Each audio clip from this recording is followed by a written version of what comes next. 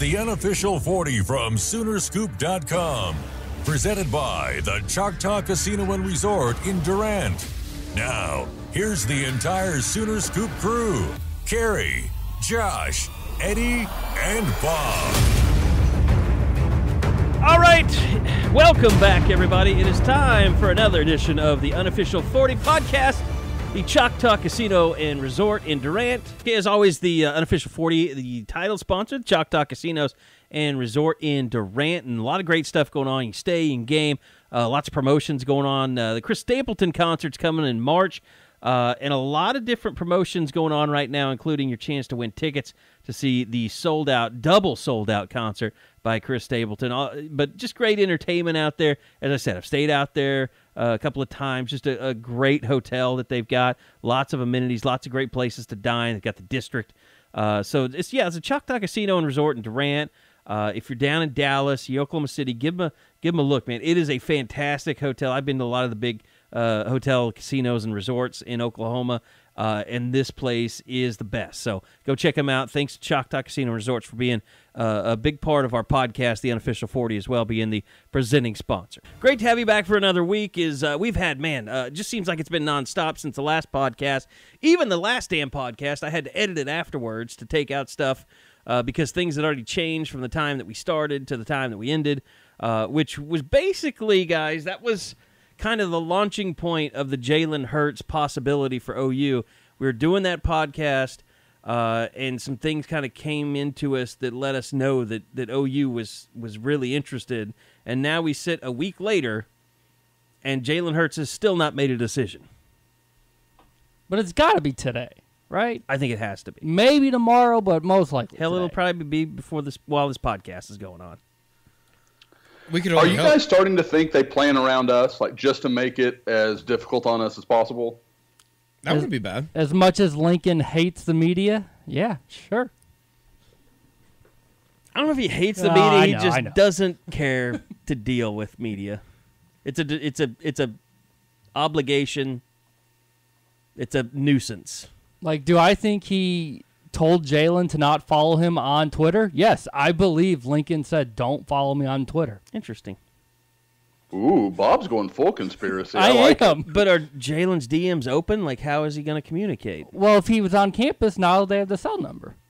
I guess so. Now, te- I mean, Bob, if you wanted to go full blown, Lincoln could text him, be like, "Follow me," send him one message, and then unfollow him. like, so only if you were looking at the exact right moment could you have been caught. Thank you. I mean, you know, I'm I'm I'm with you, Bob. I like a good conspiracy. I'm all about the uh, grassy knoll. So, That That's ne- not really like Josh. a, That never happened. That's a oh, that's not really to me conspiracy level. Conspiracy level is, you know, he could only pick up the car after he came back next time. Uh, all right. Well, let's not get into JFK because I will spend a lot of time here. So, Okay, so we're waiting. JFK was never murdered. We we're we're waiting on. I'm just gonna ignore that. We're gonna fly right by it. Uh, we are going to uh, not ignore Jalen Hurts, but that's coming down today. I think the big thing, and guys, we've had so much that we've kind of uncovered, and it's been little pieces here and there. Uh, but Alex Grinch has been hired. Uh, he has hired two staff members officially yesterday. We talked about the Brian Odom thing on the last podcast. Like, don't close the door on that one, and and that happened earlier this week. So, or uh, it happened earlier this week. They announced it officially yesterday. Uh, but Eddie, we'll start with you. Go around the room. Um, just your thoughts on first off Roy Manning and uh, Brian Odom being named officially to the staff. Yeah, it would seem like it goes hand in hand with uh, everything that we thought that, I guess, preliminary thoughts on what we thought Lincoln Riley was going to do as far as getting younger, getting uh, guys that, you know, I, I thought it was kind of funny that uh, within, you know, an hour and a half of the hire being official or the announcement being made, uh, Roy Manning and Brian Odom had already changed their Twitter avatar, something that, uh, or, or their profile page, just something that eh, they get it. I think would probably be the best way to put it. Just as far as uh, social media and recruiting, uh, you know, I I'm not too upset about. Uh, you know, I, I know that there's a lot of people in the message boards that are upset that uh, they hired a linebackers coach to coach cornerbacks. Uh, it's newsflash, it's 2019. You don't you don't just stick with one job uh, if you're an assistant coach. I, I think that everything's going to be fine in that regard. Uh, you know, I, I think that it is kind of a uh, Well, look at it this way: how many coaches on the staff actually coach positions that we know they played in, in college? Like, well, it's like you said. If if if we were going by that, Cale Gundy should still be coaching quarterbacks. Quarterbacks. He quarterbacks. should only be able to coach be quarterbacks. coaching Yeah. Uh, I, it's just something. And Lincoln for- Riley was a walk-on that quit to be a student assistant. So how is he such a great offensive coordinator? Well, it's just something that people bitch about, I, and I think it's just bitching to bitch. And Jay There's was a tight end that- in in college, and he's a running backs coach. Like you said, Cale Gundy, quarterback. He's a wide receiver. I think Dennis Simmons wasn't he a defensive player? Switched to wide receivers coach. I have no idea. I know that Shane Beamer probably didn't play uh, fullback in college. No, I think what they're upset about is the fact that the only time he coached corners was 2014. But and look, I get it. I Get can understand. it. I- I well, get ho- it, hold on. I get but- it. I don't even because- get it. Get over. no, over I get it because the secondary's been so terrible, Right. and Kerry Cooks's technique teachings were were not taking hold. I mean, that was the worst technique that we've probably ever seen Oklahoma quarterbacks play with the last few years. Great hire tech, by the way. Safeties coach now, for those that don't you don't sh- know. I think we should. I think well, on behalf of the Oklahoma staff, I think we should thank Texas Tech for what they've done I mean, for this country, Tech hasn't done anything for the country. They the country of Oklahoma. set their program back, but that's neither here nor there. I think we should just let Kerry Cooks just go on his way. He was he was good to deal with. He was good to deal with. He's a shitty football coach. Yeah. The results are there that say he wasn't very good. He didn't do a good job. But he's gone. Now you have a linebacker coach. Now you have a linebacker to coach him. So happy day. But you look at the two hires, it just feels like this is Alex Grinch putting his stamp on on- on things. This is going to be his defense. I think there were some people that sounded like they were worried that maybe Lincoln Riley was going to interfere a little too too much. But you get guys like Odom, you get Manning with all the ties to Grinch. It, it lets you know right from the start this is going to be Grinch's deed. I literally think that people sit around and make up almost like m- the male version of a Harlequin romance novel when it comes to these coaching hires. Like, what happened? Oh, Lincoln wanted him, and oh, but he didn't want to do this, and uh, and and he, and Alex Grinch needed to be able to do his own, so he wanted to bring in his own guy, and uh, it's just it it sickens me. I mean that you have to go that deep down the rabbit hole. Did you? The guy got goddamn hired. He's gonna be the coach. Why can't that be enough? Why do we have to have these goddamn backstories where somebody jumped through seven rings of hell in order to get here? It- It's just stop it with that crap. I don't care about that guy. If you're gonna sit there and drone on about that in a seven-page thread on the post on the message board, I'm out. I'm cha- I just closed down one of those threads because it turned into two guys bitching at each other and name calling and, and calling rough and terrible names. It's like, my God, people. I'm not saying get a life, and I understand that you know that's your prerogative. It's our board. There's you're not wasting, you're not killing any trees. But my God, that that stuff, You'd be better off. I don't. I don't get it. Well, people love to be miserable. If they don't have anything, I don't know that it's misery. It's like No, it is it's like misery. It's because their wife is- OU football to be Game of Thrones or something. well, they they have this vision of what the program like is, The and Hobbit. it isn't. They have a vision of what they want the program to be, or what they want to envision the program to be, and it just isn't that. They think that there's so much more into it. But why does it always have to go into the power struggle within and this is this guy's coming from this way and hey, guess what? You might Because people like controversy. or you might just be a chick.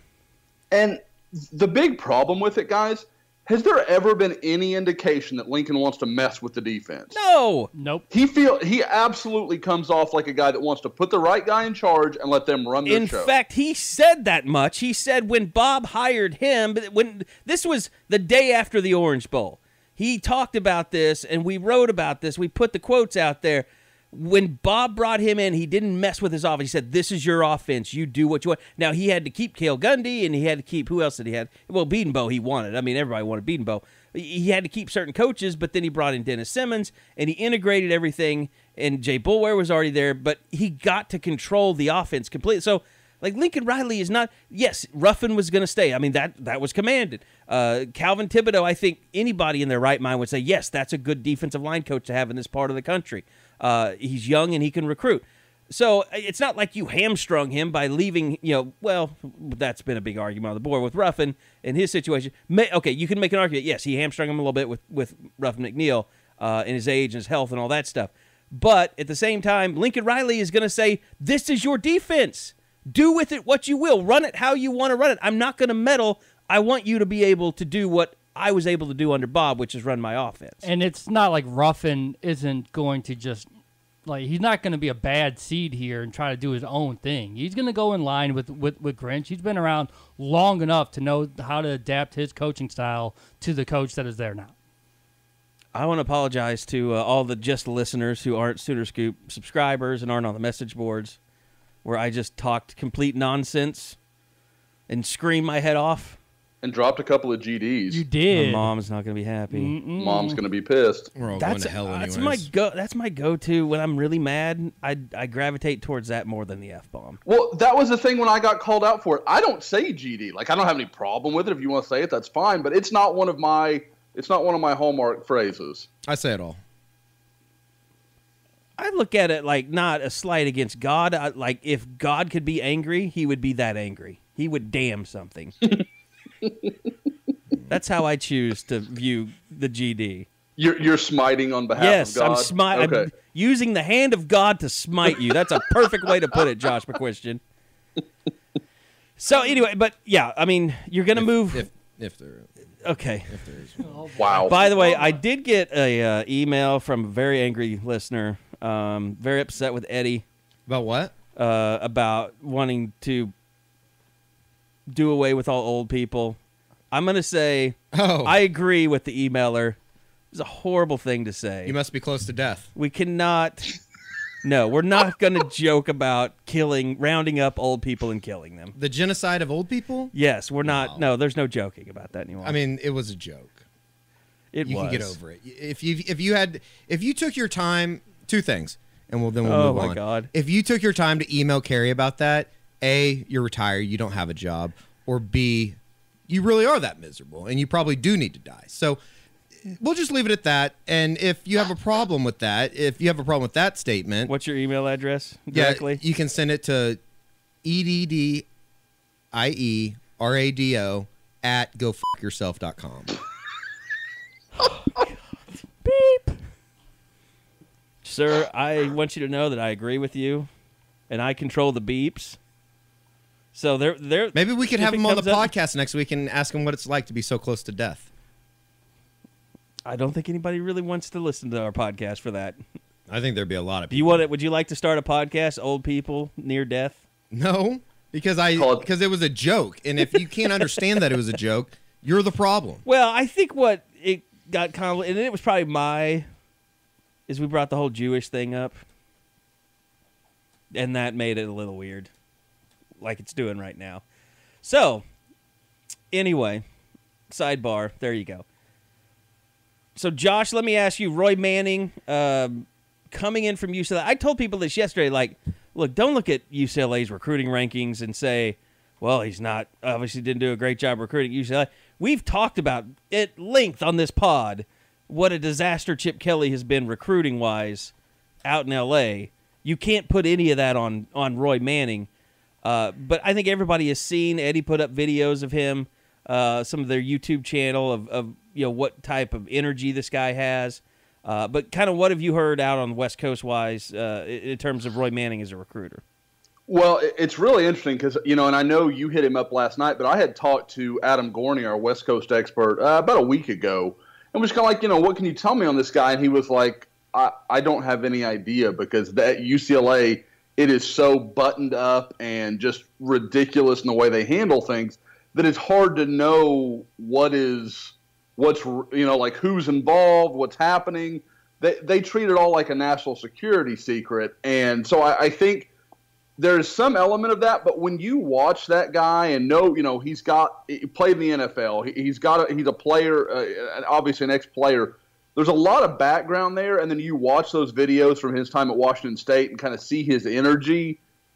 I, I don't need to know a lot more to know that that guy can probably recruit pretty well. And I know he got some guys at Washington State that were maybe not the premier guys, but he did nice evaluations, went in and beat out, you know, the oh, I guess you would say the second tier of California recruiters, the Arizona States, the Arizonas. He went and got some good players out of California, which, like we talked about in the last pod, with Oklahoma losing Tim Kish, I know a lot of OU fans, uh, you know, I guess if you want to say rejoiced about that or whatever, but they've lost a lot of connection to California. Tim Kish was a huge, huge part of that, and he brings that back into the fold for Oklahoma. So this is a big deal. It's a big win for OU.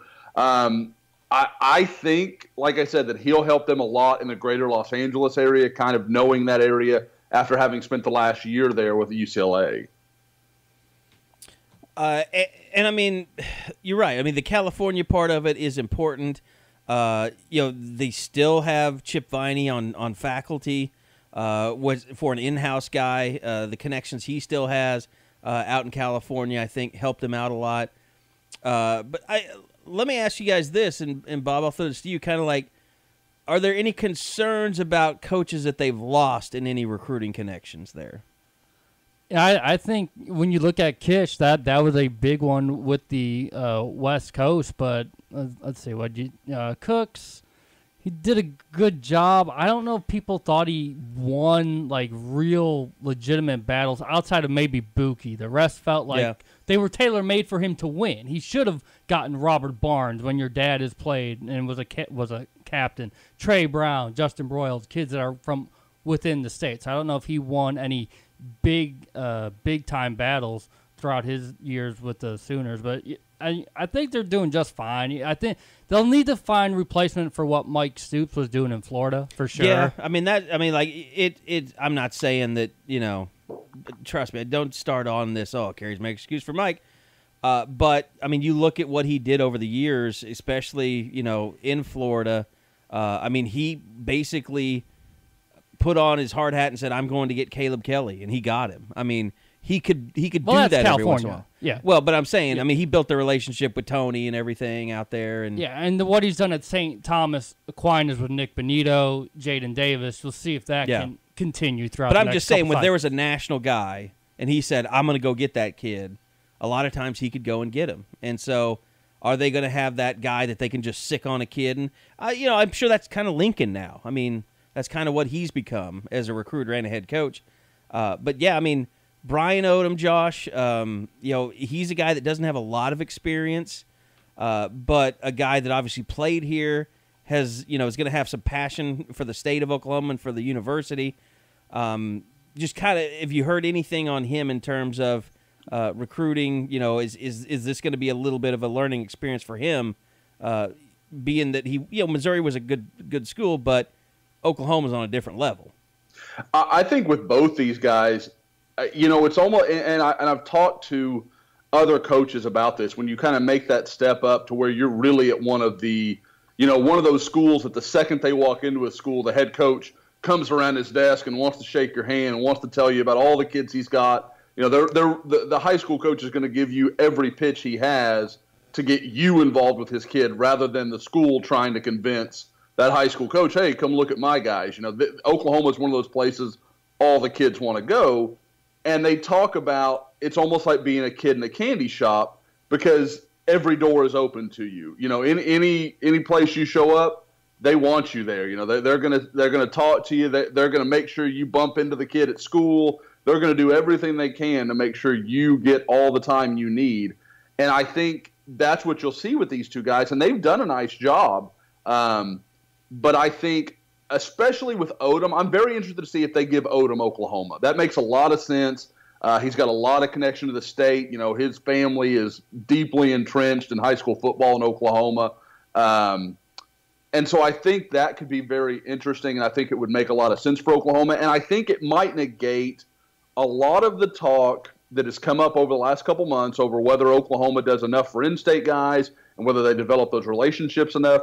For Brian Odom, it's going to matter. He grew up playing Oklahoma high school football. It matters to him to you know that these kids trust him, that the coaches trust him, that they know him. So I think that's going to be a big deal. And I, obviously, I think one of his first jobs will be in Tulsa to kind of get everybody back on board because I the conversations I've had, there were some very real issues between some of the people in Tulsa and frankly Kerry Cooks. Like I, I just heard things that, that that was some of the problem with both Josh Proctor and Dax Hill that they would talk to guys that were already there from Tulsa, kids they knew, and they weren't getting really strong reviews about playing at Oklahoma for him. So we'll we'll see how that all gets corrected. But I think Brian Odom in state could be a big fix kind of quickly for Oklahoma. Yeah, Josh, is it gonna be so quick? It could be next weekend, Junior Day, or maybe the following Junior Day. It's tough to say. Like I, you know, I, I talking to some of the people I've talked to. I've got some early, you know, confirmations. Some guys are going to be there, and actually, I need to get a list started here on the site. Um, but that feels like a lot of Texas guys. That maybe the first one's going to be kind of that premier day where it's only guys with offers or only guys that they're you know the, our top one or two guys at each position. I haven't really talked to that kind of secondary group that acts like okay, yeah, that that's that's I'm going to be there that weekend. So we'll kind of see how that plays. But I mean, there's no question that I, that first visit week or that first junior day on the 26th is going to be huge for Oklahoma to get those guys in front of these kids and really start to make up some of that ground because like I've talked about before, I, I know people think, oh, it's so long until next signing day. Roy Manning and Brian Odom are already starting out behind the eight ball. Same with Alex Grinch. They're going to have to play a lot of catch up with some of these kids. Uh, I, I mean, just in terms of, let's talk a little bit about just just the, the players on this team. I mean, uh, obviously there are some positions that did not react well. Safety being one of them. Uh, Alex Grinch coming in as a safeties coach you've got you know the signing class pretty much taken care of from the safety position. What is it? I mean, how do you guys kind of see? And Eddie, let's start with you. Kind of, where do you see being guys that can make the biggest jumps, or, or or need the need the change of having a new coach? Well, I'd start out at cornerback just as far as if they can be taught to turn their head around, which I think that every player on the team is capable of turning his head around as he runs. I maybe maybe I'm being fooled, but I think that they're athletic enough to do that. So you uh, think that OU just happened to recruit guys the- that the- can't turn their head the only guys that were that talented yet also could not turn their head around? That'd be something, wouldn't it? Uh, the other, I mean, the I, I think the most um, uh, interesting part of this, and it's been discussed probably on the board as well, is uh, what do they do with Bookie? Do they turn him back Yeah. over into a cornerback? And I think that I think uh, one of the, somebody had said that if uh, they didn't do that, the entire shafts should be fired, and they just start again until you keep ro- keep going Until back someone comes until says, somebody "We're moves him to corner." cornerback. Yeah. But I mean, I, that's a no brainer to me. And I think that if you do that, then you can start really looking at okay, how does how does everybody work into the, uh, into what they want to do? It, it is going to be interesting though. It's like you know, I a guy like a um, oh, I don't know, I. What about Robert Barnes? I mean, Yeah, I Robert think you got to Barnes is a good there. example. Yep. Is a good a good place to start, and then you start working your I way I mean, the down. way like- his season ended. I mean, and the injury honestly, stuff a lot of these guys had, might just need a breath of fresh air and Yeah. getting some new eyes on them. Uh, you know, the one of the a guy that would fit that mold for me is Parnell Motley. I mean, he's made Yeah. plays before, but at the same time, I just think the kid was worn down. He was either being coached wrong or he was getting worse as a football player. And I mean, you can argue which one has come first. But uh, I mean, what's the one thing that we kept going back to, even in October when Mike Stoops was let go, was the fact that you the longer you stay in this program, and especially in the secondary, the worse you get as a player. And I think they need to address that and see what what what is the biggest change they need to do. And I, hell, I'd be interested just to talk to Alex Grinch to see what his thoughts are. I mean, I don't think he's going to throw Kerry Cooks under the bus. I'd love to say that, or love to hear that Alex Grinch stand up there on Friday or whenever we talk to him and say they've been taught shitty technique for the last five years. I you look, here's what'll happen, and we're going to talk to Alex Grinch probably by the end of this week. Um, probably on Friday will be a chance that that's kind of the plan right now. Um, I I definitely think he's going to say, look, I'm going to look at a lot of different things during spring practice and make a decision and go from there. And I, I you know, there, if they have any brains, which I know they do, I think they'll try and you know Bookie a little bit at corner during the spring football period. They'll try, uh, you know, Justin Broiles back at nickel or corner. I don't think Justin Broiles cannot play safety. He just can't play safety. He's not big enough to play safety. Well, I think the one thing that they would do during the spring, especially, is they don't have. a- And you know, talking as a coach, we don't have a depth chart going into spring. Oh, sure, yeah. You guys make the depth chart. Yeah. These are you have three brand we're gonna watch coaches you on practice. that side of the ball. We're gonna go watch you practice. You're gonna compete, and then we're gonna decide who goes where. What about what about moving Tre Brown? To, To- safety, To safety? Yeah, Or, or, a full time nickel? nickel. Full full time nickel. I could buy nickel. I, he's the only guy in that secondary I feel good about, and I'm going to move him away from the position I know he can play. Yeah, he's the That- only that's- one that that's really scares me about truly that. competes, even after the catch is made, all the Yep. way to the ground. Yep. He's the only guy on that defense. Uh, the, the the problem, and you guys know, I, I Bookie, Bookie is a corner to me. But when I talk to people, I mean, and even you know over the last few weeks, there is a feeling that this defense is could be really talented and could be good if it gets pointed in the right direction. But everybody I talk to, and I know you guys hear the same stuff. Safety scares the crap out of everybody. Yeah, it Like should. there is no obvious answer. They they need one of these freshmen to step up and be a guy. And that's why they needed Proctor or Dax. Yep, th- those two losses It was so are easy just, to see. You needed one of them. Yep, those are just catastrophically painful. and all the all the guys that they've lost to either A and M or LSU over the last few years. I mean, Mhm. I can't even remember their names. I just know they're all six foot two and There's a lot of guys that they that 200 Alex Grinch was coaching last year that Oklahoma's Yeah. recruited and missed out on. Okudah, Yeah. Pryor, yeah. Maybe he could kidnap someone. Can can you imagine him showing up that first day and being like, "These are the safeties I'm working like."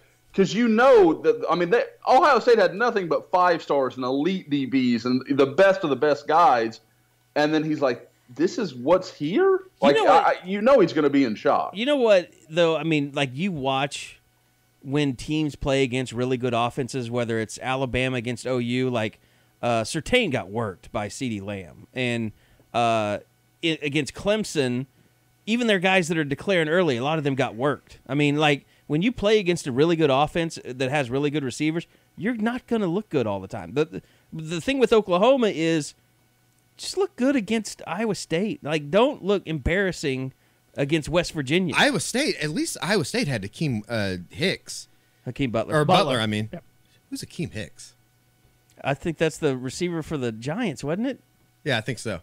Hakeem Butler. Hakeem Jesus. Played North Carolina. Hakeem Nicks, yeah, played Yeah, North Carolina. Nicks, that's right. Yep, that's Uh, don't get your ass kicked by Kansas. Yeah, And I know that a lot of that was done on the ground against Kansas, but still, I mean, the point remains like when you play a shitty team, you need to at least bat down a couple stop. balls. Yeah, stop getting worked by TCU's I don't even backup care if you. I don't even care if you shut down a team. Just bat down a couple balls, and that'll give half the fan base a boner, But the other half are women, so it'll give everyone a bone. and their tits will be hard. How about that?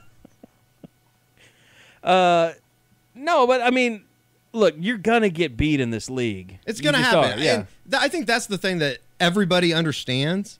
But when you give up 700 yards repeatedly Yeah. every week Yeah. and 450 yards to a third string quarterback in Ames, it's like, come on. At some point, like we joked about it uh, after the, I think on after the uh, Orange Bowl on the way back to the hotel. But like, oh, you had to lead the league in the country in balls defended that were never touched, and like it became just like a almost a cliche thing to say. that He was in position. Yeah. he just didn't make a play. It was like Well, the it goes all the way back to the Jordan G- Thomas. Oh, yeah, for sure. Like it had become an epidemic. If you played in the secondary, you put yourself in decent shape, and I guess that is good technique. But the ball skills and when the ball came and it came time to make a play, they just couldn't do it. And I don't know. I don't like it understand even how that went, happens. it even went to the next level against Alabama uh, when the safety came over the top and was ready to make the play. You had two guys barely miss the pass. That one, the second biggest Yeah. play from Tua. yeah, to Jerry Jeudy. Yeah, I just don't understand how that happens. I don't know. It- It's just that's. I guess that's for. Uh, but I mean, Roy it happens so many different ways. Like, out. I mean, uh, like Tre Norwood, Tylan Wallace, like that was one of the most embarrassing performances by a DB in recent years. Uh, you know, it wasn't so much Parnell Motley, but everybody against Hakeem Butler, like you said. uh, Bookie against West Virginia. I mean, that was as bad as it gets. I mean, it That just was just goes a on. He and never on saw the field again. Yeah, I mean, it, it just In goes on role. every every game. That was I mean, just straight up a guy getting ran by though. I mean, like that was a. I don't know if that was a technique thing or if well, that just was what was happening to Tre Norwood doing. and Tylan Wallace. 'cause Oh, then yeah. You have Barnes go out because of Jacobs, and Patrick Fields plays the rest of that game. I Yeah. mean, Bookie never saw the field again in the sec- in the secondary. Well, you know what? Give Patrick Fields a look because that defense wasn't terrible after Robert Barnes left. He had eight tackles I thought they were screwed. against Bama. He's just another guy that's just so small. So, I mean, I think Cradell's the only guy that can really add any significant size to that secondary, unless Barnes is healthy and ready to go. And the other thing is Tre Norwood, if he's going to be a factor, he better put on some weight this this offseason. Because Man, he's we, so we're around the guy a lot. like, I, he's just so with that skinny. frame, it's it's tough. Just with that frame, it's going to be tough. I when you're so skinny that your pants sag, even though you have pads it's on not, in them, It's not style. It's not good. That's not for style. And this is going to be where Mm, Manning and Grinch, I don't know what they're going to do this first year dealing with all Cooks' guys. Just like we said, Cooks had that same problem when he had to deal with guys that he he didn't want. We'll see if they can do anything with these smaller guys. If Grinch and Manning are able to make them still useful. You know, it's it's funny to say that, but at the same time, all the guys that are in Norman right now, and particularly in the secondary that Cooks recruited, were guys that everybody wanted. I mean, they were highly ranked guys. Just Yeah. about using them right. It's just, yeah. I mean, they are. But you know what? They're- You could say the same thing about Alabama, and they were for a secondary for them. They were average this year. yeah. And that's why they got. I mean, I- that's I why Trevor Lawrence picked them apart. James Maiden is out there. I mean, everybody wanted him. How big's Isaiah Simmons? Kid from Clemson. Wasn't I know right to play safety? Like that kid. That is. it, he just seems to be a, a football player. Their And I- linebacker was really good. That number twelve. the Muse kid. yeah, I, I don't know what his name is, but The he was guy number twelve. I think that I think He's it, a black was, dude. I think that was Muse. No, that wasn't Muse. I don't know. They they just I don't know. It it's got They'll to the be s- point though, and I They'll be screwed once Brent Venables' kids playing though. you think I'm just messing around. Because because they eat McDonald's is that going to be the uh, the jumping off point? The Like, people well- who wanted to politicize Oh, that thing are you're just end it. All right. There's probably a good chance if you wanted to politicize something like that that you find a reason to bitch about hires like Oklahoma just made. No, I think it's more you're you're even I mean like and when I saw that quote that was going around from Trevor it was attributed to Trevor Lawrence. So good. I was like if you any if I see one I un- I started not just unfollowing people on Facebook, I unfriended them. If they put that on their on their Facebook page and said, "Yes, finally someone speaks out." That was so like good. you are too stupid to be my friend on Facebook. that was so good. I I Like really it does, really it did it. really help me weed out the simple jacks in my timeline. I, I have a strict no policy rule. If you are you are uh, excuse me, no politics rule. If you are talking politics on my Facebook, we are no longer friends on Facebook. So you you don't unfollow the nice way. You just unfriend them. I unfriend. I want it to be known that just I don't want your politics in my life. Like just nobody cares about what you have to say. Nobody cares what I have to say. Like it's not. This isn't. This isn't me being better. This is face. Seriously, Facebook is is a bunch of people that used to be in college and now post pictures of their children all the time. We don't need your fing politics. They, they, wow, Josh just feels really strongly about that. politics is a thing that I'm just like, shut up, stop talking. No one cares. I feel like what you really wanted to say is those are your friends that you used to see doing blow in college, and now they're posting pictures of their kids. Oh, sure. There, there's a good doubt. There's a good bad of that. Yeah. Okay. There, there's a lot of uh, very, very morally correct people that I know were very morally corrupt at one one point in time. Like so, I, do, I definitely remember our senior trip to Tijuana, and I remember what you did. yes, that damn donkey show. Kill anybody? Uh, so yeah, I mean the whole that's that's going to be a mess for them to work through, and it's going to take fifteen. It's pr- they probably wish they had more than fifteen practices. Alex Grinch will by the time spring football is over. I'm curious how many times we'll talk to Alex Grinch during spring football. Okay, how many times? How many times, including our first introduction press conference? We want to set an over under Like from from from now From- until the start of the football season. how many times have we how talked many to times? Alex Grinch? I would say less than four. We've usually usually pretty including- good during the spring. including the spring game. So we know we have two. yeah, we have Yeah. the introduction, and mm-hmm. then we know we'll get him after the spring. Yeah, I would say four is right. That's the good over. that's the over under. Yeah. let's say four and a half Okay. to, to, to make it more So interesting. I would go under. I would, I would, I would right probably go under. yeah. Yep. and that's including no a third time would be at uh, Lincoln Riley's uh, golf. Well, that's we're gonna say that will be uh, that will be start of the year. You know what the biggest relief is going to be for I think everyone, media, him, football, Lincoln Riley, is that Ruffin McNeill no longer has to represent the defense with the media because that was just painful. Uh, it just kind of is what it is. Do we want to talk about Ruffin McNeill and him staying on staff? Because I know that's Well, we been a to, point yeah. of contention with a lot of people. The way that I see it is, I'm not there every day, but when you talk to, obviously at practice, we're never, we're not there every day because we can't be. But Ruffin's not there every day. touche. When you hear the players talk about him, though, They love him. You hear Lincoln talk about him. Lincoln obviously wants him around the football offices. Now, Yes. I understand that you could say, well, you could do that in an analyst role. I don't want to get into that. It could be a salary thing. I, who I to be honest, I don't care about Yeah. that. But I do think that Lincoln Riley wants to keep him around for for for for a reason that maybe I don't know about. He obviously brings something to that defense or to the defensive room that he wouldn't keep him around if he didn't think he would, right? Right.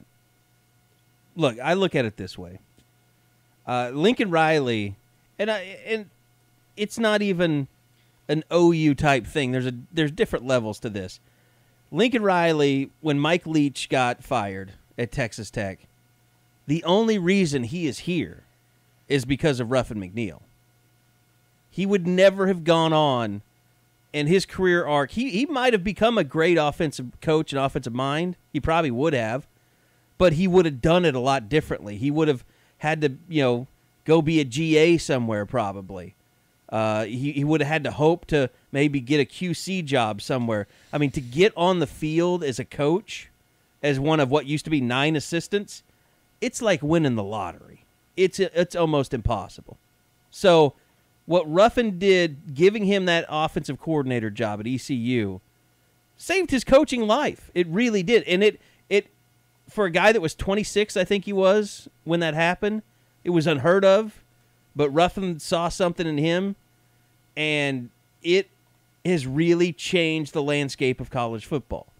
And because Ruffin did that for him, I kind of see what he's doing now. Like with Brian Odom having very little coaching experience, mostly you know GA stuff and and and strength and conditioning stuff and administrative stuff. I think he did at Arizona under Mike. Like he's saying, okay, I you know my guy believes in you, even though you don't have the experience. I didn't have the experience at one time, but you're young, you're you're passionate, you you're energetic.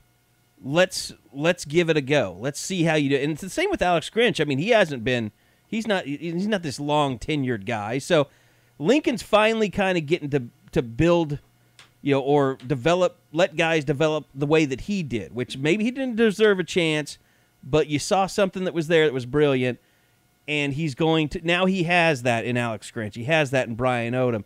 Uh, I'd say you have that a little bit in Roy Manning, um, but Ruffin is the reason that he's here.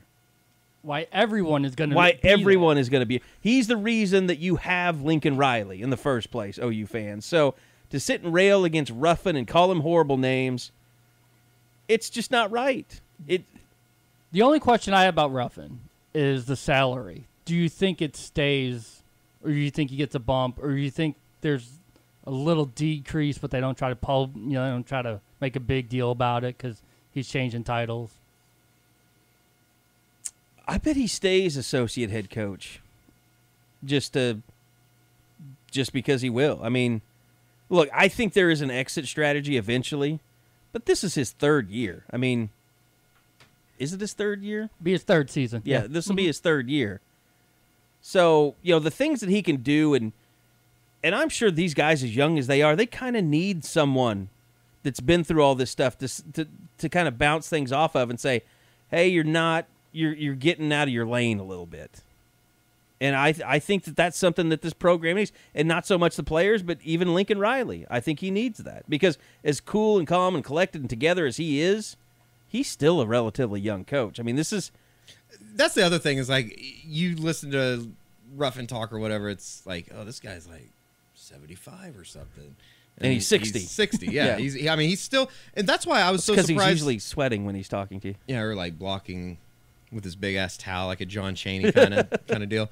It, it- That's why when his name was uh, floated out about a month ago for the Appalachian State head coaching job, I was like, that's kind of surprising. Like I I kind of figured he was done after this, but I mean, it is what it is. I he's going to be around. There's a reason why they want to keep him around, and Yeah. I, I honestly I think that there's a lot of that kind of what you're saying. There, I think that being the father of the program type deal, that a guy that can, you know, when they do when they need a shoulder to cry on, which they're kind of kind of pussies if you do that, but if it they need somebody like that in that role though. I think. You're No, not, you're not going to cry on Bill Bedenbaugh's shoulder. I can tell you that. Yeah, you need a good cop. I mean, Yeah, exactly. Yep.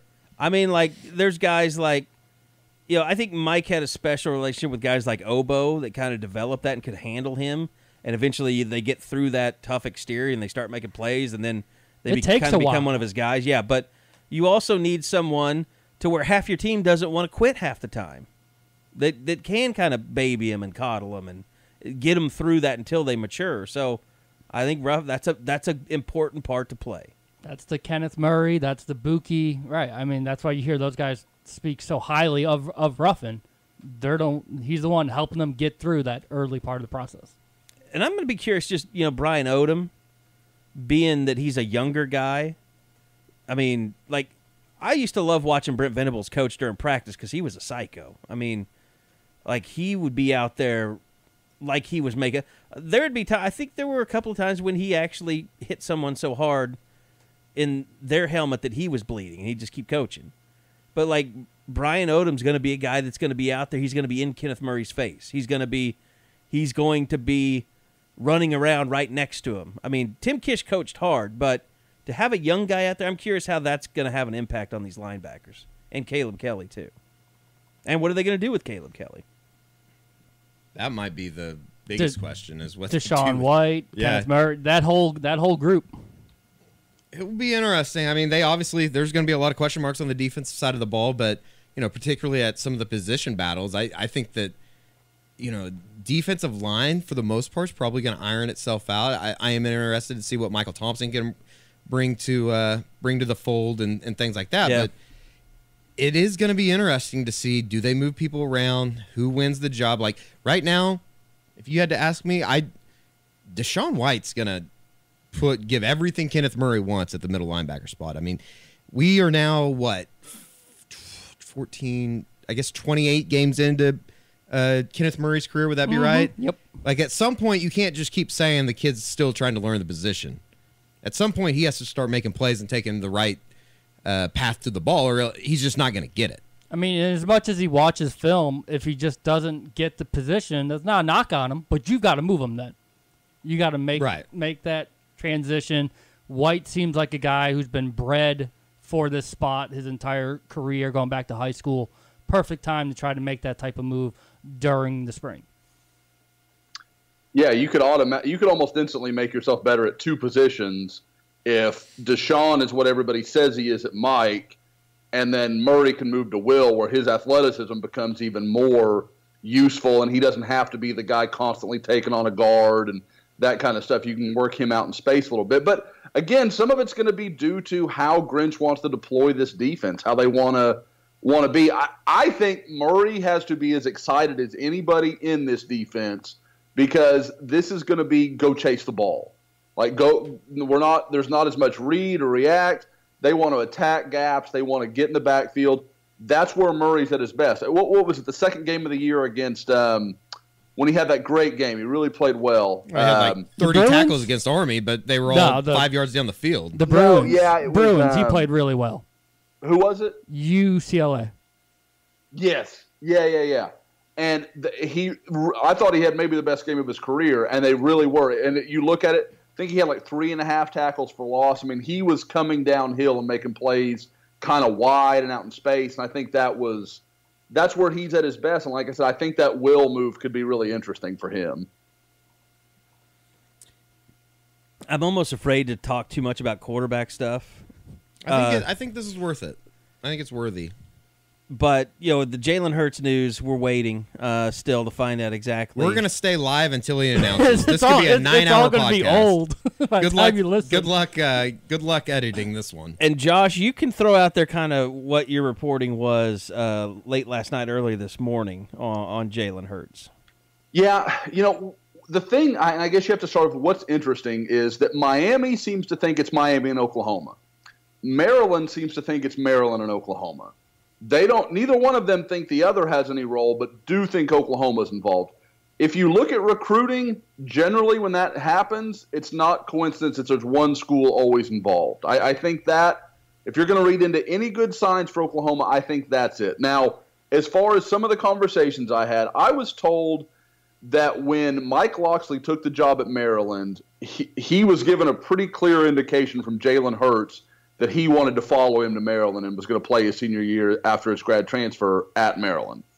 Now, we know and we've reported that from what we've gathered, Jalen Hurts gave Oklahoma a very strong impression when he was on campus Saturday. Um, I, I don't know if we want to go into how deep we, we've heard, but I mean, it sounded like there, there was kind of a wink and a nod. Um, now, what I have been told is that Jalen has a really close relationship with Locksley, who, you know, I know a lot of OU fans won't understand this or, you know, understand how a guy could choose Maryland. There's a long existing relationship. Mike Locksley is a absolute dynamic recruiter, one of the best in the country. He develops relationships very, very well. So I, that that's a big part of this. That's hard to see on paper why you would make this choice, but that's part of what's going into this. Now, on the flip side, I'm told that his father, uh, who is a Texas high school coach, was Jalen's coach in high school, is very much in Oklahoma's camp. And I think you're kind of getting a deal where maybe they're having to talk it out, see if they can come to some kind of mutual understanding, or if if maybe just one or the other is driving the bus on this decision. Um, And it was Now- understood by go ahead. us that it was understood by us, uh, Artavius, I believe his father's name is, um, that that he was the one that was seeking out Oklahoma a while ago. We've talked about that on the pod, but like it's clear that Oklahoma was a school that his father had targeted for his son specifically. Yeah, th- that was absolutely the impression I had gotten. I know you had too, and uh, in some of your conversations. So I mean, like I said, I- from what I I don't hear Miami. That that's not the talk I'm hearing now. I, I had even heard that maybe that the connection between Hurts and Enos wasn't quite as strong as some people were making it out to be. Uh, I think it's very interesting what the Tate Martell news does to um, to the Jalen Hurts situation, and maybe at this point I have to give Eddie his mandatory Tate Martell segment. Um, Do it, Eddie. It's just disappointing. I thought we I, we were so close to uh, starting the podcast with his sister, and now it looks like they're headed to South Beach. Which, you know, for my man Tate, I think there couldn't be a better marriage than my, the University of Miami and Tate Martell. Like he will probably go to class without a shirt on every day. the, okay, there's no way that doesn't go down in flames, right? Uh, That feels like set up for disaster. I don't Like, know. what, is I there mean- any better? Uh, Well, here's the thing: is is is Tate, was Tate Martell pretty overrated coming out of high school? Is that just where we are with this whole thing, or I don't did he know. not get a fair shake in Columbus? we was going I to be the think he was really quarterback until Phil Like, how- showed up. And it, it is kind of surprising that he just basically ran away from Fields. Like That's how Fields it must appears. scare the shit sure. out of him. Yeah, Yeah. What do you think the guys in Miami who clearly like are going to know Justin Fields are going to have connection? There's a lot of Georgia and Miami recruit a lot of the same players, and they no doubt saw Tate Martell talk all that shit. And then the second field showed up, he was like, "I'm gone." That's not going to earn you a lot of credit in that locker room. Tate Martell's default setting is talk shit though. Yeah. Uh, it is. He's got Bu- he got uh, Bubba Bolden c- coming with him, so you know Bubba's gonna have his back. Yeah, well, and they've got the the Brevin Jordan kid that he played in high school with, um, the tight end. That's a good player. So I mean, is it is it Jordan? Is that right? Yeah. Mhm. Yep. Okay, and here's yeah, yeah. the thing: uh, you can say, well, even though he lost his coach, he still kept his offensive coordinator, and he became the head, and the offensive staff was intact. And it, it doesn't matter as long as the NCAA has granted one waiver over a coaching change. They're kind of held to the same standard, regardless of what. So there is a there's a pretty good chance that he's going to end up getting a waiver. My my biggest problem for Tate getting that waiver is going to be his mouth. Because he spouted off all that stuff after everyone knew Urban Meyer was leaving. And then Justin Fields showed up and he's like, "Oh yeah, co- coaching change. It's a big problem for me." I'm sure. Big, big- I'm sure Tate Martell's dad or somebody found out about that. Uh, I can. I would love to have heard the phone call when his dad calls, like, "Yeah, uh, Justin Fields is going to apply for a waiver, and he's probably going to get it. So you're going to compete against him next year for the job." Yeah, the the kid that some people thought was better than Trevor Lawrence. Good luck with that, Tate. And I like I, I Tate is a good football player. He is, but he ain't Justin Fields. No. It it really is like a free agency right now. It's like the Wild Wild I West, love the it. portal. I mean, I do too. I I thought it was a lot of fun over the weekend. I know that you guys were busting You- your you ass, but here. I was in Scottsdale and I was sitting by a pool or out on a golf course, just kind of taking it all in. I'm And- sure it was fun drunk in Scottsdale looking at all the, the the moms in their bikinis. It had to be rough for you. It was. seeing It that was. house you were staying in. I was jelly. It was a nice house. Mm. So, yeah, but I mean, Still not okay. you know, I and I looked at all the names in the portal the other day. This is like people like, oh, I don't like this, all this. tra-" Like this stuff was happening before the portal came about, It's just now it's official. and it's never going to be like basketball because basketball's like, okay, some guy from uh, ODU transferred to, you know, it's like Wichita State guys become like big time transfer options, beca- and they weren't playing Wichita State, but like Power Five teams program, you know, Power Five programs want them. Like you're never going to have guys from Alabama chasing after someone that just wanted to transfer from Wake Forest. I mean, every once in a while, yeah, but it's not going to be an epidemic. Because most of these guys know that you don't have to be at Alabama to get noticed or to be a first round pick. Like if you're a great player, finish out your time at Wake Forest and go be a draft pick. Like you, you don't need to go to Alabama to do that. I mean, there, there's like you know, like Darrion Daniels from OSU transferred to Nebraska, but that's because his brother was there. Um, but the Tate Martell and the Justin Fields and the Austin Kendall, those are the outliers. Those are the, you know, Isn't quarterback just the out out yeah. outlier? I mean, because point? those are the high. I mean, every quarterback's high profile because even if he's not playing, all the fans want him to play, so they turn him into uh, almost like a celebrity, and you know, without ever, ever doing anything in college. Well, h- how much is Austin Kendall living off Baker Mayfield, Lincoln Riley, and Kyler Murray currency right now? By the Like way, he he was at Oklahoma. He's got to be good. Something really interesting that's out there right now. Uh, Jake Trotter had reported it with ESPN. Oklahoma is trying to use the you can't transfer to other schools in the Big 12, even with the graduate thing. So he can't go to West Virginia. They're trying to say if he goes to West Virginia, uh, per Big 12 conference rules, he has to sit out, even though he's eligible. That'll be a bad look, especially TCU and uh, Kansas State. with- Yeah. with, uh, Delton. Yeah. with that just happening for the Sooners to not do it. It's gonna look bad. I, I'll say this: I posted if, on the board- If they don't, if they get Jalen Hurts, they'll probably just say, uh, "Okay, we're fine. He can play." That'd be funny if that's how it happened. that, that would be. but Don't you it- think that that's what they're doing though? They're hedging their bets until they know. I think it's a little bit of that. I also think that, well, My God, if if they get Jalen Hurts and they still try and enforce I that think rule, that yeah, they you're gonna might, look like just because dicks. you're look you're, I just- you're there's you bad might- you have a- blood. there's bad blood, and there's a, a chance that you have to play West Virginia twice. Now, I you could argue you could play him four times. you could argue Like, how many there's in how two no- much- years. There's no way Austin Kendall is coming back to Oklahoma That's now. Right. That's what I'm yeah, There's getting at. no oh, for way. Sure. Yeah, for sure. That that's that that bridge is burned. Yes, That's why I don't get why the Jalen Hurts things ma- matters to the equation. He's not coming back.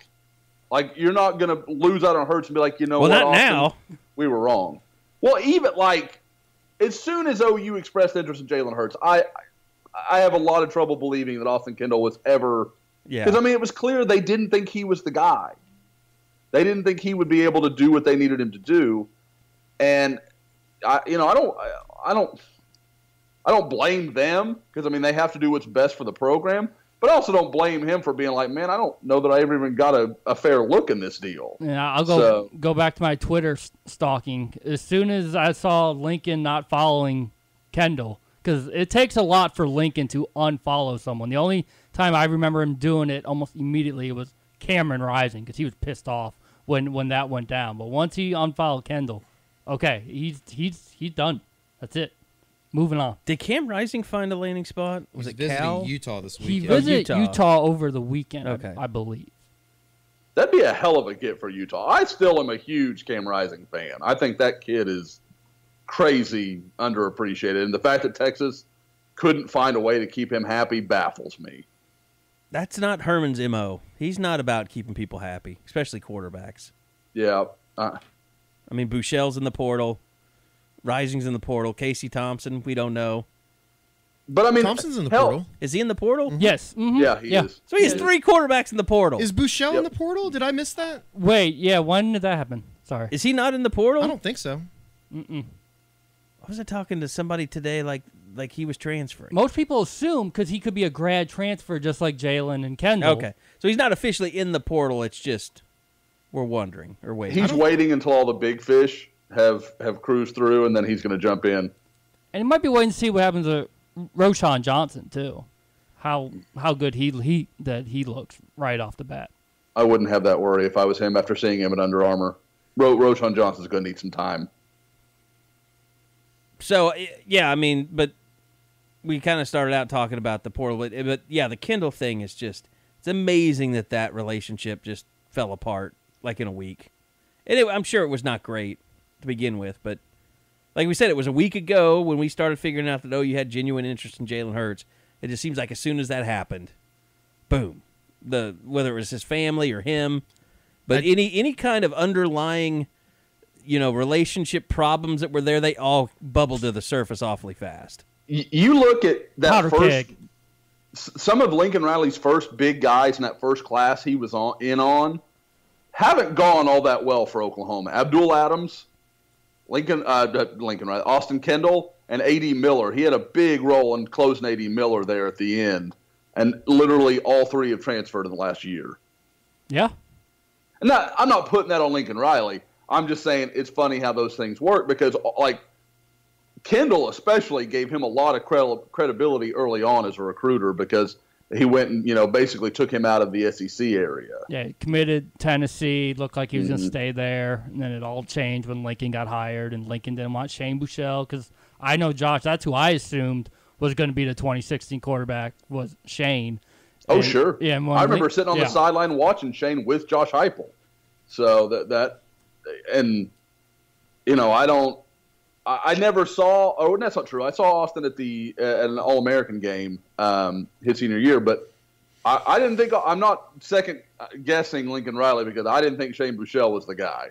So I, I I don't have a problem with that choice. It just didn't work out. Uh, want to remind you guys, uh, Coop Ale Works, great sponsor of the show. Uh, go check them out at coopaleworks.com.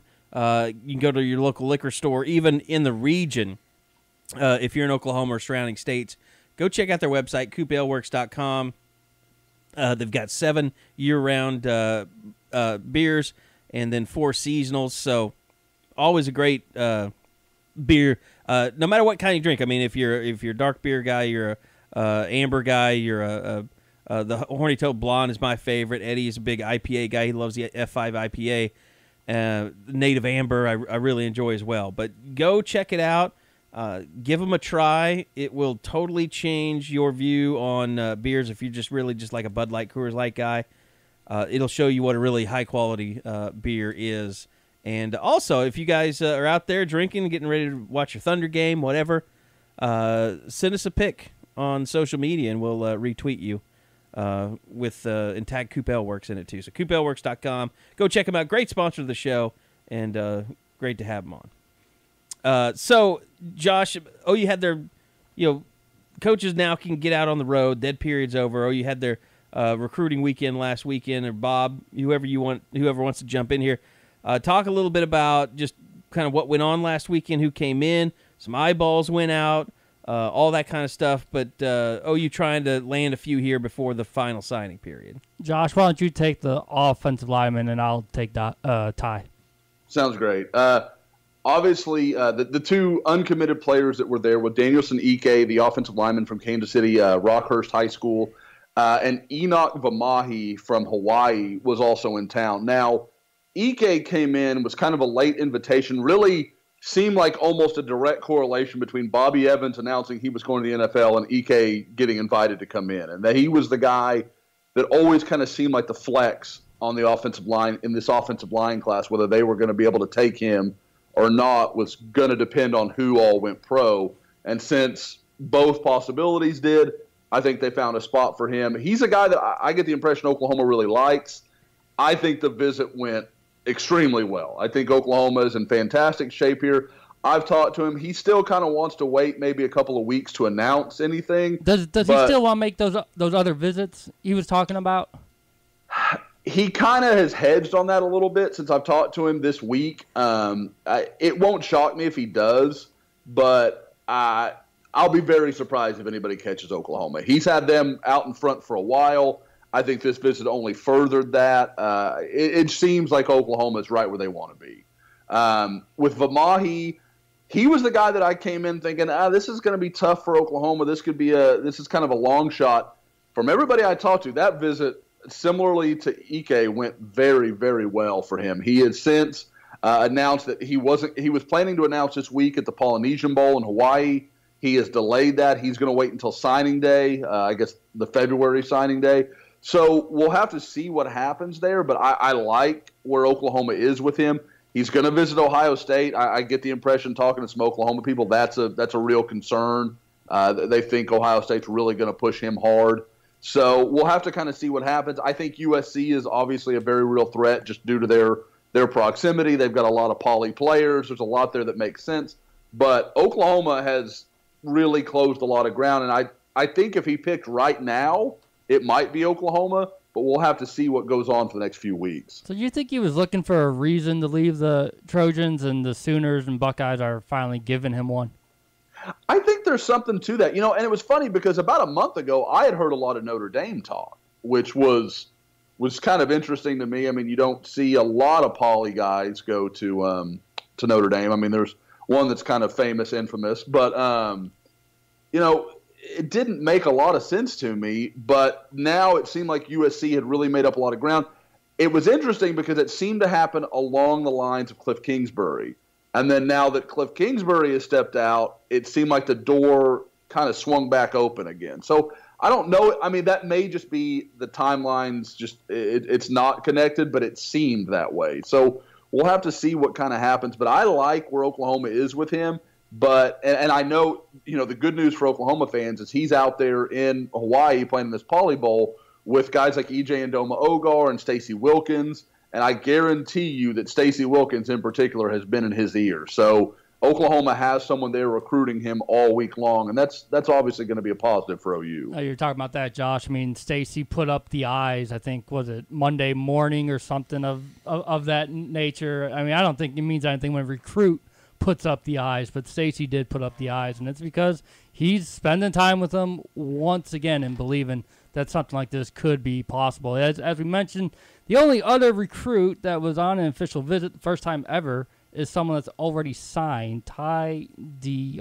Finally get, got a chance to see the campus, and it worked out well for him because not only is he signed and he had nothing to worry about throughout the entire visit, but Alex Grinch is going to not only be his defensive coordinator, but also his safeties coach. And he said he spent a lot of time around Grinch Friday, Saturday, and Sunday. Really had a good first impression of everything on, on that end. Spent a lot of time watching film with Grinch, trying to figure out exactly where Ty will fit in in the grand scheme of things. And I kind of put this teaser out on uh, Twitter. I asked, "What is the direction of the defense under Grinch?" He simply said, "It is upward." I, I will have a full write up with Ty later this week. Mostly, I'm just trying to wait for Jalen Hurts to be over so the story doesn't get buried. So we're looking at Thursday or uh, Friday. But I've really enjoyed talking with Ty, and I finally got that question answered that I didn't ask the first time around. How did his family have all that OU gear ready for a signing ceremony when it was Arizona State at the beginning of the day. Well, during that whole process, the uh, a couple of the assistant coaches at Arlington went to uh, Rally House and they picked up a bunch of OU gear so that you never would have known in the first place that he was going to initially sign with the Sun Devils. Hmm. It sounds like a recruiting violation to me, but maybe that's just me. And uh, Josh, I, I haven't heard anything. There's nobody this weekend, right? That is what I have been told. That that sound. I haven't heard anything. I, I think. I mean, honestly, at this point, there's not There's- a lot left right, to do. Exactly. Yeah, there, there's just not many guys that. It's not just are we still recruiting guys? There's just not many spaces that I think they don't have earmarked for someone else. They they need to know. Okay, we're going to miss out on this guy before we move to this guy, and really the the question that continues to linger is what what's going to happen with David Ugwoegbu. Um, you know, I talked about it last week on the pod. Was sent home early from the Army Bowl. I, I want to again say it was nothing drastic from everything I've gathered. It wasn't anything that was, you know, he's not going to jail over anything. It's nothing like that. It's just he's had a little trouble in the regular season. I think missed a game or two over that. Seemed to, you know, kind of do the right thing, and then got into some trouble at Army or the All American Bowl. I still can't stop calling it Army, but it's and, and again, so you know, people are like, "Well, he's so talented, he's so good."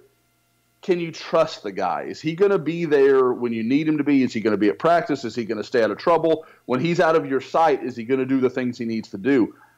I, I will flat out say every time I've dealt with David, he's been upstanding. He's been awesome to deal with. He really he doesn't come off like a kid that would be a problem.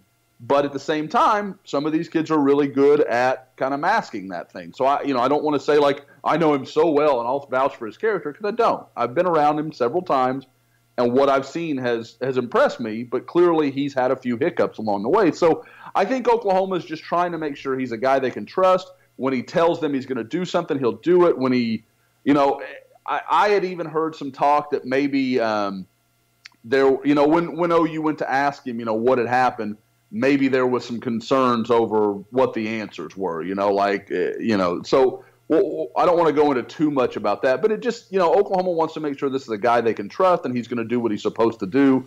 And if they're going to miss out on him, then they've got to find another answer because they do need somebody in that role, but they're just not sure if it's going to be him or not. Josh, have you talked to any Aggie sources? Was was this a concern on on their end, or is this sort of news to them too? I, I don't think there was any great concern about it. You know, it was it was funny because the first person I contacted about him not being in the game was an Aggie guy that I know well, and was kind of like, you know, are you hearing anything? What happened here? Because it was it wasn't even discussed during the game. There was no mention of it. There wasn't like a a little, you know, and and the All American Bowl is pretty good about you know giving you the updates, and they give you okay, here's going to be our announcement ceremony during the game. This guy's not going to play because of this, that, or the other they're pretty good about it, but there was no mention of David Ugwoegbu at all during that day. And it wasn't until afterward I realized that I didn't see him the whole time. And by then, you know, it, it was kind of it was too late to kind of catch up on what had happened. So I got home, tried to check with some people, and it, it, it was it was just a I, I, I think it caught everybody a little off guard. And again, like I said, he'd had a couple of things during the season, but it wasn't again same kind of stuff. Not a huge deal just you know kind of straighten up and fly right and everything would have been fine but when it happens a couple of times you start to wonder okay is this a pattern By the time you start a podcast and the time you No end it, doubt. This is my crazy. God, just so much stuff happens. So Oklahoma State's kicked three players off of their basketball, Basketball team. Two of them pretty significant contributors. I know Weathers contributes quite a bit. Well, the the Travius kid, he got he got arrested early, and they've kind of been holding him back and not playing him as much, and he must have screwed up again. But that they didn't need Yeah, not that. a good look. Uh, is Lincoln Riley currently taking the first step in getting closer to Nick Saban and taking and making a move, That's a hey, remember? a petty move, Yeah. and making petty moves? Well, Jason Kersey of the Athletic is reporting that not only is he being um, blocked from immediate eligibility at West Virginia, but also any school that they play on their schedule in the next two years, which I didn't even think was possible anymore. Well, he re- he revised it and said that he you would just have to sit out. They're blocking him from being a immediately, Immediately eligible. eligible. Well, that's what. Yeah, that's what I said. Oh, okay. But where because he he could transfer to Tennessee, but he'd have to sit out. This next that that's how that doesn't make any sense I, to me. I thought does, they got I'd have to of look more stuff. into it. It doesn't sound think- right, even when I'm saying it. I've texted him while you guys were talking, and he said he did check into. I mean, I believe him. I just, Mm-hmm. it just, if that's why is that still possible? It shouldn't still be possible. I get the in conference thing, but I mean, Alex Delton's going to transfer to TCU, and they're going to let him. You think uh, Riley has already sent a text to Hurts? The door's open.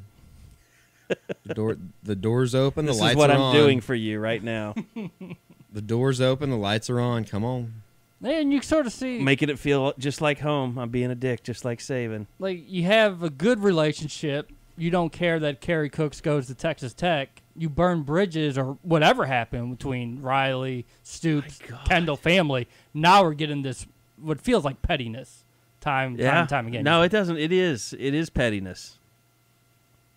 I mean, that was your first. That was your first quarterback first, recruit. He, he was. And you know what? You lost your second. You kicked him off the team.